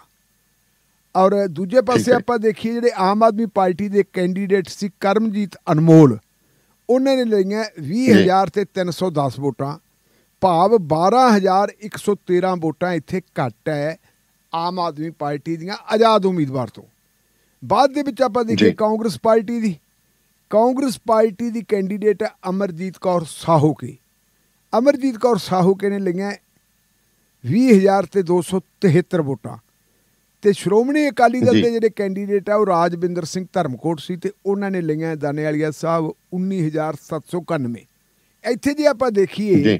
ਕਾਂਗਰਸ ਦੀ ਤੇ ਜਿਹੜੀ ਹੈਗੀ ਹੈ ਅਕਾਲੀ ਦਲ ਦਾ ਇਹ ਬਹੁਤਾ ਫ਼ਰਕ ਨਹੀਂ। ਇੱਕ ਦੀ 20273 ਤੇ ਦੂਜੀ ਦੀ 19791 ਥੋੜਾ ਜਿਹਾ ਫ਼ਰਕ ਹੀ ਹੈ ਸੈਂਕੜਿਆਂ ਦਾ। ਤੇ ਜੇ ਆਪਾਂ ਬੀਜੇਪੀ ਦੀ ਦੇਖੀ ਤਾਂ ਬੀਜੇਪੀ ਦੇ ਹੰਸਰਾਜ ਹੰਸ ਨੇ ਲਈ ਹੈ 14850 ਵੋਟ। ਇਹਦੇ ਤੋਂ ਇਹ ਪਤਾ ਲੱਗਦਾ ਕਿ ਬੜੀ। ਜਿਹੜੀ ਜਿਹੜੀ ਬੜੀ ਪੋਜੀਸ਼ਨ ਜਿਹੜੀ ਹੈ ਨਾ ਬਹੁਤ ਹੀ ਟਾਈਟ ਹੈ। ਇਹ ਨਹੀਂ ਕਹਿ ਸਕਦੇ ਕਿ ਫਲਾਣੇ ਦੀ ਝੋਲੀ 'ਚ ਆਈ ਪਈ ਹੈ। ਇੱਥੇ ਹੁਣ ਆਪਾਂ ਨੂੰ ਇਹ ਦੇਖਣਾ ਪੈਣਾ ਹੈ। ਕਿ ਜਿਹੜੀ ਅਕਾਲੀ ਦਲ ਨੇ ਬਾਈਕਾਟ ਕੀਤਾ ਹੋਇਆ ਹੈ। ਅਕਾਲੀ ਦਲ ਦੀ ਜਿਹੜੀ 19791 ਵੋਟ ਹੈ ਇਹਦੇ ਵਿੱਚੋਂ ਇਹਨੂੰ ਇਹ ਇਹ ਉਹ ਵੋਟ ਹੈ ਜਿਹੜੀ ਅਕਾਲੀ ਦਲ ਦੀ ਨਰੋਲ ਹੈ ਕਾਂਗਰਸ ਨੂੰ ਨਹੀਂ ਜਾ ਸਕਦੀ ਇਹ ਆਪ ਨੂੰ ਨਹੀਂ ਜਾ ਸਕਦੀ। ਇਹਦੇ ਵਿੱਚ ਦੇਖਣਾ ਇਹ ਹੈ। ਕਿ ਇਹਦੇ ਵਿੱਚੋਂ ਬੀਜੇਪੀ ਨੂੰ ਕਿੰਨੀ ਵੋਟ ਲੈ ਕੇ ਜਾਂਦਾ ਹੈ? ਬੀਜੇਪੀ ਦਾ ਕੈਂਡੀਡੇਟ ਮਨਪ੍ਰੀਤ ਸਿੰਘ ਬਾਦਲ। ਦੂਜੇ ਪਾਸੇ ਆਪਾਂ। ਦੇਖੀਏ ਤੇ ਜਿਹੜਾ ਆਮ ਆਦਮੀ ਪਾਰਟੀ ਦਾ ਕੈਂਡੀਡੇਟ ਹੈ ਡਿੰਪੀ ਢਿੱਲੋਂ। ਡਿੰਪੀ ਢਿੱਲੋਂ ਦਾ ਪਿਛੋਕੜ ਅਕਾਲੀ ਦਲ ਹੈ। ਉਹ ਅਕਾਲੀ ਦਲ ਦੇ ਵਿੱਚੋਂ ਆਇਆ ਉਹ ਕਿੰਨੀ ਵੋਟ ਲੈ ਕੇ ਜਾਂਦਾ ਹੈ? ਸੋ ਕੁੱਲ ਮਿਲਾ ਕੇ ਗਿੱਦੜਵਾਹਾ ਦੀ ਜਿਹੜੀ ਪੋਜੀਸ਼ਨ ਹੈ ਬੜੀ ਟਾਈਟ ਹੈ ਇਹਨੂੰ ਆਪਾਂ ਇੰਨੀ ਸੌਖੀ ਨਹੀਂ ਕਹਿ ਸਕਦੇ।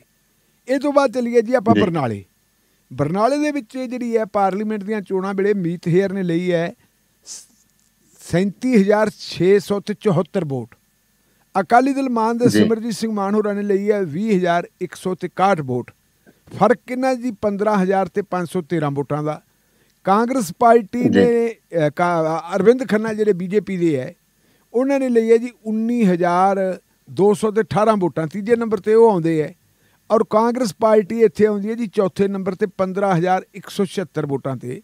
ਤੇ ਸ਼੍ਰੋਮਣੀ ਅਕਾਲੀ ਦਲ ਇੱਥੇ 5700 ਤੇ 24 ਵੋਟਾਂ ਲੈਂਦਾ ਹੈ। ਇੰਨੀਆਂ ਕੁ ਵੋਟਾਂ ਦਾ। ਹੁਣ ਤੁਸੀਂ ਅੰਦਾਜ਼ਾ ਲਾਓ ਕਿ ਇਸ ਵੇਲੇ ਜਿਹੜੇ ਅਕਾਲੀ ਦਲ ਤਾਂ ਮੈਦਾਨ ਦੇ ਵਿੱਚ ਹੈ ਨਹੀਂਗਾ ਪਰ ਬਿਲਕੁਲ। ਜਿਹੜੇ ਨੰਬਰ 2 ਤੇ ਰਹੇ ਆ ਸਿਮਰਜੀਤ ਸਿੰਘ ਮਾਨ ਉਹਨਾਂ ਦਾ ਦੋਤਾ ਜਿਹੜਾ ਹੈਗਾ ਜੀ ਉਹ ਇੱਥੋਂ ਚੋਣ ਲੜ ਰਿਹਾ ਹੈ।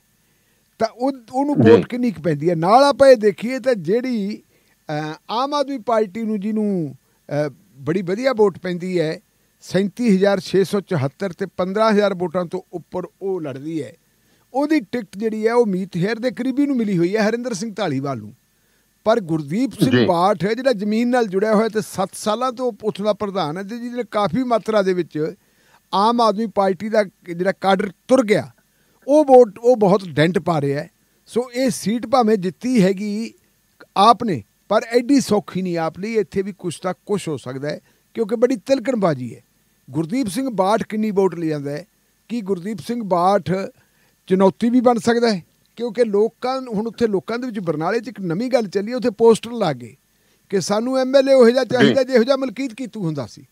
ਕਿੰਨੇ ਸਮੇਂ ਬਾਅਦ ਯਾਦ ਬਾਅਦ ਲੋਕ ਮਲਕੀਤ ਕੀਤੂ ਨੂੰ ਯਾਦ ਕਰਨ ਲੱਗੇ ਇੰਡੀਪੈਂਡੈਂਟ ਬੰਦਾ ਜਿੱਤਿਆ ਸੀ। ਉਹ ਕਿਉਂ ਯਾਦ ਕਰਦੇ ਆ? ਇਸ ਕਰਕੇ ਕਿਉਂਕਿ ਲੋਕਾਂ 'ਚ ਵਿਚਰਦਾ ਸੀ। ਹੁਣ ਜਿਹੜੀ ਆਪ ਇਹਨਾਂ ਕੈਂਡੀਡੇਟਸ ਨੂੰ ਆਪਾਂ ਦੇਖੀਏ ਕੇਵਲ ਸਿੰਘ ਢਿੱਲੋਂ ਬੀਜੇਪੀ ਦਾ ਉਹ ਦੋ ਵਾਰੀ ਪਹਿਲਾਂ ਐਮਐਲਏ ਰਿਹਾ ਹੈ। ਉਹਦਾ ਵੀ ਇੱਕ ਆਧਾਰ ਹੈਗਾ ਤਕੜਾ ਆਧਾਰ ਹੈ। ਪਰ ਜਿਹੜਾ ਜਿਹੜਾ ਜੇ ਜਿਹੜੇ ਪੋਸਟਰ ਲੱਗੇ ਤੇ ਲੋਕ ਕੀਤੂ ਕੀਤੂ ਕਰਦੇ ਐ ਮੇਰੇ ਖਿਆਲ ਮੁਤਾਬਕ ਉਥੇ ਗੁਰਦੀਪ ਸਿੰਘ ਬਾਠ ਜਿਹੜੇ ਬਾਗੀ ਆਮ ਆਦਮੀ ਪਾਰਟੀ ਦੇ ਕੈਂਡੀਡੇਟ ਆ ਉਹ ਆਮ ਆਦਮੀ ਪਾਰਟੀ ਦੀ ਖੇਡ ਖਰਾਬ ਕਰ ਸਕਦੇ ਐ ਜੇ ਆਪਾਂ ਲਈਏ ਚੱਬੇਵਾਲ ਦੀ ਕਹਾਣੀ ਤਾਂ ਦਾਨੇਵਾਲੀਆ ਸਾਹਿਬ ਨੋ ਡਾਊਟ ਚੱਬੇਵਾਲੇ ਦੀ ਸੀਟ ਜਿਹੜੀ ਹੈਗੀ ਆ ਉਹ ਭਾਵੇਂ ਕਾਂਗਰਸ ਵੱਲੋਂ ਜਿੱਤੇ ਸੀ ਲੇਕਿਨ ਪਾਰਲੀਮੈਂਟ ਦੀ ਚੋਣ ਦੇ ਵਿੱਚ ਵੀ। ਔਰ ਇਸ ਵੇਲੇ ਵੀ ਕਿਉਂਕਿ ਰਾਜਕੁਮਾਰ ਅਗਰਵਾਲ ਦਾ ਬੇਟਾ ਉੱਥੋਂ ਚੋਣ ਲੜ ਰਿਹਾ ਹੈ। ਉੱਥੇ ਰਾਜਕੁਮਾਰ ਅਗਰਵਾਲ ਦਾ ਇੱਕ ਆ, ਰਾਜਕੁਮਾਰ ਜਿਹੜੇ ਹੈਗੇ ਚੱਬੇਵਾਲ ਦਾ ਚੱਬੇਵਾਲ ਹਾਂ ਰਾਜਕੁਮਾਰ ਚੱਬੇਵਾਲ ਦਾ ਇੱਕ ਆਪਣਾ ਆਧਾਰ ਆ ਉਹਦੀ ਆਪਦੀ ਇੱਜ਼ਤ ਮਾਣ ਹੈ। ਉਹਦਾ ਉੱਥੇ ਬੜੀ ਜਿਹੜੀ ਹੈ ਪਕੜ ਹੈ। ਤਾਂ ਉਹਨੂੰ ਲੱਗਦਾ ਵੀ ਕਿ ਉਹ ਲੈ ਜਾਣੀ ਆਮ ਆਦਮੀ ਪਾਰਟੀ ਨੇ। ਪਰ ਫਿਰ ਅੱਗੇ ਆ ਗਈ ਜਿਹੜੀ ਡੇਰਾ ਬਾਬਾ ਨਾਨਕ। ਡੇਰਾ ਬਾਬਾ ਨਾਨਕ ਦੀ ਸਥਿਤੀ ਵੀ ਬੜੀ ਮਤਲਬ ਆਪਾਂ ਕਵਾਂਗੇ ਟੇਢੀ ਖੀਰ ਹੈ ਸੌਖੀ ਨਹੀਂ। ਉੱਥੇ ਸੁਖਜਿੰਦਰ ਸਿੰਘ ਰੰਧਾਵਾ ਤੇ ਜੇ ਆਪਾਂ ਦੇਖੀਏ ਇਹਨਾਂ ਦੀ ਹਾਲਤ ਕੀ ਹੈ? ਇਹ ਮੈਂ ਥੋੜਾ ਜਿਹਾ ਤੁਹਾਨੂੰ ਅੰਕੜਾ ਦਿੰਨਾ ਉੱਥੋਂ ਦਾ ਕੀ ਕੁਛ ਹੈ? ਉਹਦਾ ਅੰਕੜਾ ਮੇਰੇ ਖਿਆਲ ਮੁਤਾਬਕ ਡੇਰਾ ਬਾਬਾ ਨਾਨਕ। ਹਾਂਜੀ ਡੇਰਾ ਬਾਬਾ ਨਾਨਕ ਦੇ ਵਿੱਚ ਸੁਖਜਿੰਦਰ ਸਿੰਘ ਰੰਧਾਵਾ ਨੇ ਲਈ ਸੀ ਜੀ 48198 ਵੋਟਾਂ। ਔਰ ਆ ਪਾਰਲੀਮੈਂਟ। ਦੇ ਵਿੱਚ। ਆਮ ਆਦਮੀ ਪਾਰਟੀ ਦੇ ਕੈਂਡੀਡੇਟ ਅਮਰ ਸ਼ੇਰ ਸਿੰਘ। ਉਹਨਾਂ ਨੇ ਲਈ ਸੀ 44258 ਵੋਟ। ਸ਼੍ਰੋਮਣੀ ਅਕਾਲੀ ਦਲ ਦੇ ਦਲਜੀਤ ਸਿੰਘ ਚੀਮਾ ਨੇ ਲਈ ਜੀ 17099 ਵੋਟਾਂ ਤੇ ਬੀਜੇਪੀ ਦੇ ਦਿਨੇਸ਼ ਬੱਬੂ ਨੇ ਲਈ ਹੈ 5981 ਵੋਟਾਂ। ਔਰ ਇੱਥੋਂ ਹੁਣ ਆਪਾਂ ਇਹ। ਕਹਿ ਸਕਦੇ ਹਾਂ ਇਹ ਅੰਦਾਜ਼ਾ ਲਾ ਸਕਦੇ ਵੀ ਇੱਥੇ ਮੁੱਖ ਮੁਕਾਬਲਾ ਜਿਹੜਾ ਹੈਗਾ ਉਹ ਕਾਂਗਰਸ ਦਾ ਤੇ ਆਮ ਆਦਮੀ ਪਾਰਟੀ ਦਾ ਹੀ ਹੋਣਾ ਪਰ ਜੇ ਆਪਾਂ ਪਿਛਲੀਆਂ ਚੋਣਾਂ ਦੇਖੀਏ ਜਦੋਂ ਅਸੈਂਬਲੀ ਦੀਆਂ ਇਲੈਕਸ਼ਨਾਂ ਹੋਈਆਂ 2022 ਚ ਉਦੋਂ ਜਿਹੜੇ ਹੈਗੇ ਐ ਰਵੀ ਕਰਨ ਸਿੰਘ ਕਾਲੋਂ ਉਹ ਬਹੁਤ ਥੋੜੀਆਂ ਵੋਟਾਂ ਨਾਲ ਹਜ਼ਾਰ। ਵੋਟਾਂ ਤੋਂ ਵੀ ਘੱਟ ਫ਼ਰਕ ਨਾਲ ਹਾਰੇ ਸੀ। ਹੁਣ ਉਹ ਬੀਜੇਪੀ ਵੱਲੋਂ ਆ ਗਏ ਹੈ ਉਹ ਬੀਜੇਪੀ ਵੱਲੋਂ ਆ ਕੇ ਉਹ ਇੱਥੋਂ ਕਿੰਨੀਆਂ ਵੋਟਾਂ ਲੈਂਦੇ ਆ। ਨਿਰਪਾਰਾ ਪਰ ਮੇਰੇ ਖਿਆਲ ਹੈ ਵੀ ਜੋ ਸਿੱਧਾ ਮੁਕਾਬਲਾ ਉੱਥੇ ਕਾਂਗਰਸ ਦੇ ਵਿੱਚ ਤੇ ਆਪ ਦੇ ਵਿੱਚ ਹੀ ਹੋਣਾ ਇਹਨਾਂ ਦੇ ਵਿੱਚੋਂ ਕੌਣ ਜਿੱਤਦਾ ਕੌਣ ਹਾਰਦਾ ਹੈ ਇਹ ਨਿਰਪਰ ਫਿਰ ਅਕਾਲੀ ਦਲ ਤੇ ਹੈ ਕਿਉਂਕਿ ਉੱਥੇ ਜਿਹੜਾ ਹੈਗਾ ਸੁੱਚਾ ਸਿੰਘ ਲਗਾ ਉਹਦੇ ਕੋਲੇ ਇੱਕ ਚੰਗਾ ਤਕੜਾ ਵੋਟ। ਬੈਂਕ ਹੈ ਉਹ ਵੋਟ ਬੈਂਕ ਕਿਹੜੇ ਪਾਸੇ ਨੂੰ ਭੁਗਤਾਉਂਦਾ ਹੈ ਲੱਗਦਾ ਇਹ ਹੈ ਕਿ ਉਹਨੇ ਨਾ ਕਾਂਗਰਸ ਨੂੰ ਭੁਗਤਾਉਣੀ ਹੈ ਤਾਂ ਨਾ ਉਹਨੇ ਬੀਜੇਪੀ ਨੂੰ ਭੁਗਤਾਉਣੀ ਹੈ। ਹੋ ਸਕਦਾ ਕਿ ਉਹ ਅਕਟਮਕਾ ਆਪ ਵਾਲੇ ਨਾਲ ਕਰ ਜਾਵੇ। ਸੋ ਕੌਣ ਕਿੰਨੇ ਪਾਣੀ ਚ ਹੈ ਜੀ ਜੀ। ਇਹ ਪੋਜੀਸ਼ਨ ਹੈ ਇਹਨਾਂ ਚਾਰਾਂ ਸੀਟਾਂ ਦੀ। ਜੀ। ਜੀ। ਸੋ ਪ੍ਰੋਗਰਾਮ ਚੱਲ ਰਿਹਾ ਜੀ ਸ਼ਮਾਦਾਨ ਤੇ ਮੇਰੇ ਨਾਲ ਨੇ ਸਰਦਾਰ ਬਖਤੌਰ ਸਿੰਘ ਢਿੱਲੋਂ ਹੋਰੀ ਤੇ ਢਿੱਲੋਂ ਸਾਹਿਬ। ਮਹਿਲਾ ਇੰਸਪੈਕਟਰ ਅਰਸ਼ਪ੍ਰੀਤ ਕੌਰ। ਇਲਜ਼ਾਮਾਂ ਤਾਂ ਵੱਡੇ ਲੱਗਦੇ ਨੇ ਇਲਜ਼ਾਮ ਉਹ ਵੀ ਬਹੁਤ ਲਾਉਂਦੀ ਹੈ। ਹੁਣ ਇਲਜ਼ਾਮਾਂ ਦੇ ਦੌਰ ਦੇ ਵਿੱਚ ਉਹਦੇ ਉੱਤੇ ਇੱਕ ਹੋਰ ਪਰਚਾ ਹੋ ਜਾਂਦਾ ਜੀ। ਦਾਨੇਲੀਆ ਸਾਹਿਬ, ਦੋ ਤਿੰਨ ਇਹਦੇ ਵਿੱਚ ਕੇਸ ਆ ਜਾਂਦੇ। ਪਹਿਲੀ ਗੱਲ ਤਾਂ ਕਿ ਉਹ ਬੀਬੀ ਨੇ ਇੱਕ ਕੋਈ ਫੀਮ ਵਾਲੇ ਬੰਦੇ ਫੜੇ ਸੀਗੇ। ਉਹ ਅਫੀਮ ਵਾਲੇ ਬੰਦੇ ਦੇ ਉੱਤੇ ਅਫੀਮ ਦਾ ਪਰਚਾ ਦਿੱਤਾ ਸੀ, ਲੇਕਿਨ ਵਿੱਚੋਂ ਫਿਰ ਇਹ ਇਲਜ਼ਾਮ ਲੱਗ ਗਏ ਕਿ ਇੱਕ ਦਾ ਬੰਦਾ ਛੱਡਤਾ, ਜਿੰਨੀ ਫੀਮ ਫੜੀ ਸੀ, ਓਨੀ ਨਹੀਂ ਪਾਈ ਤੇ ਪੈਸੇ ਵਗੈਰਾ ਲੈ ਲਏ। ਇਹ ਰਿਪੋਰਟ ਉੱਥੋਂ ਦੇ ਡੀਐਸਪੀ ਦੀ ਰਿਪੋਰਟ ਸੀ, ਉਹਦੇ ਆਧਾਰ ਦੇ ਉੱਤੇ ਉਹਦੇ, ਉਹਨੂੰ ਸਸਪੈਂਡ ਵੀ ਕਰਤਾ ਤੇ ਉੱਤੇ ਪਰਚਾ ਵੀ ਹੋ ਗਿਆ। ਬਾਅਦ ਦੇ ਵਿੱਚ ਉਸ ਬੀਬੀ ਨੇ ਇਲਜ਼ਾਮ ਲਾਤਾ ਕਿ ਜਿਹੜਾ ਡੀਐਸਪੀ ਹੈ, ਕੋਟੀ ਸੇਖਾਂ ਲੱਗੀ ਸੀ। ਧਰਮਕੋਟ ਦੇ ਡੀਐਸਪੀ ਤੇ ਇਲਜ਼ਾਮ ਲਾਇਆ ਕਿ ਤਾਂ ਉਹ ਡੀਐਸਪੀ ਨੇ ਮੇਰੇ ਨਾਲ ਥੋੜੀ ਜਿਹੀ ਜਿਹੜੀ ਹੈਗੀ ਹੈ, ਮੈਨੂੰ ਛੇੜਖਾਨੀ ਕੀਤੀ। ਔਰ ਜਦੋਂ ਮੈਂ ਥੋੜੀ ਮਤਲਬ ਸਖਤ ਹੋਈ ਤੇ ਫਿਰ ਉਹਨੇ ਮਾਫੀ ਵੀ ਮੰਗ ਲਈ ਸੀ। ਮੈਂ ਇਹ ਮਾਮਲੇ ਨੂੰ ਬਹੁਤਾ ਉਛਾਲਿਆ ਨਹੀਂ। ਨਾਲ ਇੱਕ ਗੱਲ ਉਹਨਾਂ ਨੇ ਹੋਰ ਕਹਿਤੀ ਕਿ ਜਦੋਂ ਮੈਂ ਮਹਿਣੇ ਐਸਐਚਓ ਲੱਗੀ ਹੁੰਦੀ ਸੀ, ਉਦੋਂ ਇੱਕ ਕਤਲ ਹੋਇਆ ਸੀ ਤੇ ਉਸ ਕਤਲ ਦੇ ਵਿੱਚ ਕੁਝ ਬੰਦਿਆਂ ਦਾ ਚਲਾਨ ਹੋ ਗਿਆ ਸੀ, ਜਿਹੜੇ ਬਾਈ ਨੇਮ ਸੀ। ਔਰ ਬਾਈ ਨੇਮ ਜਿਹੜੇ ਬੰਦਿਆਂ ਦਾ ਚਲਾਨ ਹੋਇਆ ਸੀ ਮੇਰੇ ਤੇ ਐਸਪੀਡੀ ਨੇ ਦਬਾਅ ਪਾਇਆ ਕਿ ਮੈਂ ਇੱਕ ਸਪਲੀਮੈਂਟਰੀ ਚਲਾਨ ਪੇਸ਼ ਕਰਾਂ ਤੇ ਉਹਨਾਂ ਨੂੰ ਬੇਗੁਨਾਹ ਕਰਾਰ ਦੇ ਕੇ ਉਹਨਾਂ ਦੀ ਥਾਂ ਦੇ ਉੱਤੇ ਹੋਰਾਂ ਨੂੰ ਪਾਵਾਂ। ਇਹ ਇਲਜ਼ਾਮ ਉਹਦੇ ਲੱਗੇ ਸੀ। ਉਹਨੇ ਇਲਜ਼ਾਮ ਲਾਤੇ ਵੈਸੇ ਕੁੜੀ ਜਿਹੜੀ ਹੈਗੀ ਹੈ ਕੰਮ ਉਹ ਵੀ ਚੰਗਾ ਕਰਨ ਵਾਲੀ ਹੈ। ਤੁਹਾਡੇ ਯਾਦ ਹੋਣਾ ਜਦੋਂ ਕਰੋਨਾ ਵਾਲਾ ਮਾਮਲਾ ਸੀ ਉਸ ਵੇਲੇ ਉਹਨੇ ਬਹੁਤ ਵੱਡਾ 24 24 ਘੰਟੇ 36 36 ਘੰਟੇ ਕੰਮ ਕੀਤਾ ਸੀ ਤੇ ਵੇਲੇ ਦੇ ਮੁੱਖ ਮੰਤਰੀ ਕੈਪਟਨ ਅਮਰਿੰਦਰ ਸਿੰਘ ਨੇ ਉਹਨੂੰ ਐਪਰੀਸ਼ੀਏਟ ਵੀ ਕੀਤਾ ਸੀ। ਚੰਗੇ ਘਰ ਦੇ ਵਿੱਚ ਉਹ ਵਿਆਹੀ ਪਈ ਹੈ। ਔਰ ਉਸ ਕੁੜੀ ਨੇ ਜਿਹੜੀ ਚਿੱਠੀ ਲਿਖੀ ਹੈ ਫਿਰ ਉਹਨੇ ਚਿੱਠੀਆਂ ਲਿਖ ਦਿੱਤੀਆਂ ਜੀ ਥੱਲੇ ਤੋਂ ਲੈ ਕੇ ਉੱਪਰ ਤੱਕ ਸਾਰਿਆਂ ਨੂੰ। ਹਾਈ ਕੋਰਟ ਨੂੰ ਵੀ ਲਿਖੀ ਉਹਨੇ national human rights commission national women commission ਨੂੰ ਵੀ ਲਿਖੀ ਸਟੇਟ ਔਮਨ ਕਮਿਸ਼ਨ ਨੂੰ ਵੀ ਲਿਖੀ। ਕਿਹਾ ਕਿ ਸਾਰੇ ਮਾਮਲੇ ਦੀ ਪੜਤਾਲ ਕਰਾਓ ਮੇਰੇ ਨਾਲ ਜ਼ਿਆਦਤੀ ਹੋ ਰਹੀ ਹੈ। ਔਰ ਉਹਦੇ ਵਿੱਚ ਜਿਹੜੀ ਉਹਨੇ ਪੜਤਾਲ ਦੀ ਗੱਲ ਕੀਤੀ ਹੈ ਉਹ ਜਿਹੜੀ ਐਪਲੀਕੇਸ਼ਨ ਲਿਖੀ ਹੈ ਦਾਨੇ ਵਾਲੇ ਜੀ ਉਹ ਬੜੀ ਸਾਫ਼ ਸੁਥਰੀ ਅੰਗਰੇਜ਼ੀ ਦੇ ਵਿੱਚ ਉਹਨੇ ਐਪਲੀਕੇਸ਼ਨ ਲਿਖੀ ਹੈ। ਇਹ ਤੋਂ ਪਤਾ ਲੱਗਦਾ ਕਿ ਸ਼ੀ ਇਜ਼ ਵੈਲ ਐਜੂਕੇਟਡ। ਹੁਣ ਇਹ ਸਾਰਾ ਕੁਝ ਹੋ ਗਿਆ ਤੇ ਉਹ ਤੋਂ ਬਾਅਦ ਦੁਬਾਰਾ ਫੇਰ ਜਦੋਂ ਤਾਂ ਇਸ ਵੇਲੇ ਹੁਣ ਗੁਪਤਵਾਸ 'ਚ ਹੈ ਉਹਦੇ ਜਿਹੜੇ ਹੈਗੇ ਇਨਲਾਸ ਦੇ ਘਰ ਛਾਪਾ ਮਾਰਿਆ। ਮੋਗੇ ਦੇ ਵਿੱਚ ਉਹਦਾ ਜਿਹੜੇ ਫਾਦਰ ਇਨ ਲਾ ਹੈ ਉਹ ਵਕੀਲ ਹੈ ਸ਼ਾਇਦ ਉਹਦਾ ਹਸਬੰਡ ਵੀ ਵਕੀਲ ਹੈ ਉੱਥੇ ਤੋਂ ਜਾ ਕੇ ਰੇਡ ਕੀਤੀ ਪੁਲਿਸ ਨੇ। ਡੀਐਸਪੀ ਉਹੀ ਧਰਮਕੋਟ ਵਾਲੇ ਡੀਐਸਪੀ ਗਏ ਹੈ ਤੇ ਵਿਰੋਧ ਕੀਤਾ ਵਕੀਲਾਂ ਨੇ ਵੀ ਤੁਸੀਂ ਇਹ ਕੀ ਕਰੀ ਜਾਂਦੇ ਹੋ? ਮਾਮਲਾ ਤੁਹਾਡੀ ਇਨਸਪੈਕਟਰ ਨਾਲ ਰਿਲੇਟਡ ਹੈ ਤੇ ਤੁਸੀਂ ਸਾਡੇ ਵਕੀਲ ਦੀ ਇਨਸਲਟ ਕਿਉਂ ਕਰਦੇ ਹੋ? ਉਹਨਾਂ ਨੇ ਕਿਹਾ ਜੀ ਅਸੀਂ ਜੋ ਕੁਝ ਕਰਦੇ ਹਾਂ ਕਾਨੂੰਨ ਦੇ ਮੁਤਾਬਕ ਕਰਦੇ ਹਾਂ ਤਲਾਸ਼ੀ ਲੈ ਸਕਦੇ ਹਾਂ ਤਲਾਸ਼ੀ ਲਈ। ਇਹ ਦੋ ਦਿਨ ਪਹਿਲਾਂ ਤਲਾਸ਼ੀ ਲਈ ਹੈ ਤੇ ਕੱਲ ਖਬਰ ਇਹ ਆ ਗਈ ਸ਼ਾਮੀ ਕਿ ਉੱਥੋਂ 150 ਗੋਲੀ ਮਿਲੀ ਹੈ ਘਰੋਂ। ਕੋਈ ਕਹਿੰਦੇ ਜੀ ਇਹ ਨਸ਼ੀਲੀ ਗੋਲੀ ਹੈ। ਉਹ ਗੋਲੀਆਂ ਦੀ ਟੁੱਟ ਭੱਜ ਵੀ ਹੋਈ ਹੈ ਸਾਰਾ ਕੁਝ ਕਰਕੇ। ਉਹਦੇ ਆਧਾਰ ਦੇ ਉੱਤੇ ਐਨਡੀਪੀਐਸ ਦਾ ਪਰਚਾ ਖੋਰ ਦਿੱਤਾ। ਇਹ ਹੁਣ ਦਾਨੇ ਵਾਲੀਆਂ ਸਭ ਗੋਲੀਆਂ ਕਿਹੋ ਜੀਆਂ ਹੁੰਦੀਆਂ ਇਹ ਤਾਂ ਆਪਾਂ ਆਪ ਹੀ ਅੰਦਾਜ਼ਾ ਲਾ ਲੈਨੇ ਵੀ ਜਿਹੜੀਆਂ ਬਲੱਡ ਪ੍ਰੈਸ਼ਰ ਵੇਖ ਲਿਆ ਦੋ ਤਿੰਨ ਵਾਰੀ ਵੇਖ ਲਿਆ। ਹਾਂਜੀ ਹਾਂਜੀ ਹਾਂਜੀ ਕਿ ਕਿਹੋ ਜੀਆਂ ਗੋਲੀਆਂ ਹੁੰਦੀਆਂ ਪਰ ਲੱਗਦਾ ਇਹ ਹੈ ਜਿਵੇਂ ਹੁਣ ਇਹ ਨਾ ਮਤਲਬ ਹੈ ਵੀ ਕਾਨੂੰਨ ਦੀ ਬਜਾਏ ਰੈਵਲਰੀ ਵਾਲਾ ਮਾਮਲਾ ਸ਼ੁਰੂ ਹੋ ਗਿਆ ਕਿ ਆਪਾਂ ਬਦਲਾ ਲਈਏ ਇੱਕ ਦੂਜੇ ਤੋਂ। ਔਰ ਪੁਲਿਸ ਦੇ ਡਿਪਾਰਟਮੈਂਟ ਦੀ ਹਾਲਤ ਇਹ ਹੈ ਵੀ ਪੁਲਿਸ ਡਿਪਾਰਟਮੈਂਟ ਜਿਹੜਾ ਹੈਗਾ ਉੱਥੇ ਉਹ ਇਹ ਨਹੀਂ ਦੇਖਦੇ ਕਿ ਵੀ ਜਿਹੜਾ ਜਿਹੜਾ ਜੂਨੀਅਰ ਹੈ ਸਹੀ ਉਹ ਹੈ ਕਿ ਜੂਨੀਅਰ ਸੀਨੀਅਰ ਸਹੀ ਹੈ। ਉਹ ਕਹਿੰਦੇ ਵੀ ਜੂਨੀਅਰ ਨੂੰ ਫਾਹੇ ਦੇ ਦਿਓ। ਜੂਨੀਅਰ ਦੀ ਇਹ ਜ਼ਰੂਰਤ ਕੀ ਪਈ ਕਿ ਉਹ ਸੀਨੀਅਰ ਦੇ ਖਿਲਾਫ ਬੋਲੇ ਸੀਨੀਅਰ ਦੇ ਉਲਟ ਕਿਉਂ ਬੋਲੇ? ਇਹ ਗੱਲ ਜੇ ਆਪਾਂ ਮੋਹਾਲੀ ਦੇ ਵਿੱਚ ਦੇਖੀਏ ਮੋਹਾਲੀ 'ਚ ਵੀ ਬੜਾ ਤੁਹਾਨੂੰ ਪਤਾ ਹੀ ਆ ਜਿਹੜਾ ਇਹਦੇ ਵਾਲਾ ਲਾਰੈਂਸ ਬਿਸ਼ਨੋਈ ਦੀ ਇੰਟਰਵਿਊ ਵਾਲਾ ਮਾਮਲਾ ਤਾਂ ਹੁਣ ਹਾਈ ਕੋਰਟ 'ਚ ਵੀ ਆ ਗਿਆ। ਕੀ ਕੱਲੇ ਇੱਕ ਡੀਐਸਪੀ ਦੀ ਜਾਂ ਸਬ ਇੰਸਪੈਕਟਰ ਦੀ ਇੰਸਪੈਕਟਰ ਦੀ ਪਹੁੰਚਾ ਵੀ ਉਹ ਕਰਾ ਦੇਣਗੇ ਇੰਟਰਵਿਊ ਇੰਨੀ ਜਿਹੜੇ ਇੱਕ ਹਾਈ ਪ੍ਰੋਫਾਈਲ ਕੇਸ ਨਾਲ ਜੁੜਿਆ ਹੋਇਆ ਬੰਦਾ ਸਿਰੇ ਦਾ ਮਤਲਬ ਉਹ ਗੈਂਗਸਟਰ ਹੈ ਜਿਹਦਾ ਦੁਨੀਆ ਦੇ ਵਿੱਚ ਨਾ ਹੈ। ਤੇ ਇਹ ਕਿਵੇਂ ਹੋ ਸਕਦਾ ਹੈ ਕਿ ਜਿਹੜੇ ਸੀਨੀਅਰ ਅਫਸਰ ਆ ਉਹਨਾਂ ਦੀ ਮਰਜ਼ੀ ਤੋਂ ਬਗੈਰ ਜਾਂ ਉਹਨਾਂ ਦੇ ਨੋਟਿਸ ਤੋਂ ਬਗੈਰ ਇਹ ਇੰਟਰਵਿਊ ਹੋ ਗਈ ਹੋਵੇ? ਪਰ ਉੱਥੇ ਕਿਸੇ ਦਾ ਨਾਂ ਨਹੀਂ ਪਾਇਆ ਜੂਨੀਅਰਾਂ ਦਾ ਪਤਾ ਤੇ ਹੁਣ ਹਾਈ ਕੋਰਟ ਖਿੱਚੀ ਫਿਰਦੀ ਹੈ। ਸੋ ਮੈਨੂੰ ਇਹ ਮਾਮਲਾ ਵੀ ਲਗਭਗ ਉਹੀ ਜਿਹਾ ਹੀ ਲੱਗਦਾ ਹੈ। ਜੀ। ਜੀ। ਸੋ ਬਹੁਤ ਬਹੁਤ ਸ਼ੁਕਰੀਆ ਢਿੱਲੋਂ ਸਾਹਿਬ। ਮਿਹਰਬਾਨੀ ਜੀ ਤੁਹਾਡੀ ਸਮਾਂ ਦੇਣ ਦੇ ਲਈ। ਤੇ ਪ੍ਰੋਗਰਾਮ ਸ਼ਮਾਦਾਨ ਇੱਥੇ ਹੀ ਸਮਾਪਤ ਕਰਨ ਦੀ ਆਗਿਆ ਚਾਹੁੰਦੇ ਜੀ। ਹੁਣ ਮੁਲਾਕਾਤ ਹੋਏਗੀ ਸੋਮਵਾਰ ਨੂੰ। ਸੋ ਦੀਵਾਲੀ ਮਨਾਓ ਜੀ। ਬਹੁਤ ਬਹੁਤ ਦੀਵਾਲੀ ਦੀਆਂ ਮੁਬਾਰਕਾਂ। ਬੰਦੀ ਛੋੜ ਦਿਵਸ ਦੀਆਂ ਵੀ ਤੁਹਾਨੂੰ ਮੁਬਾਰਕਾਂ। ਸੋ ਧੰਨਵਾਦ। ਸ਼ੁਕਰੀਆ।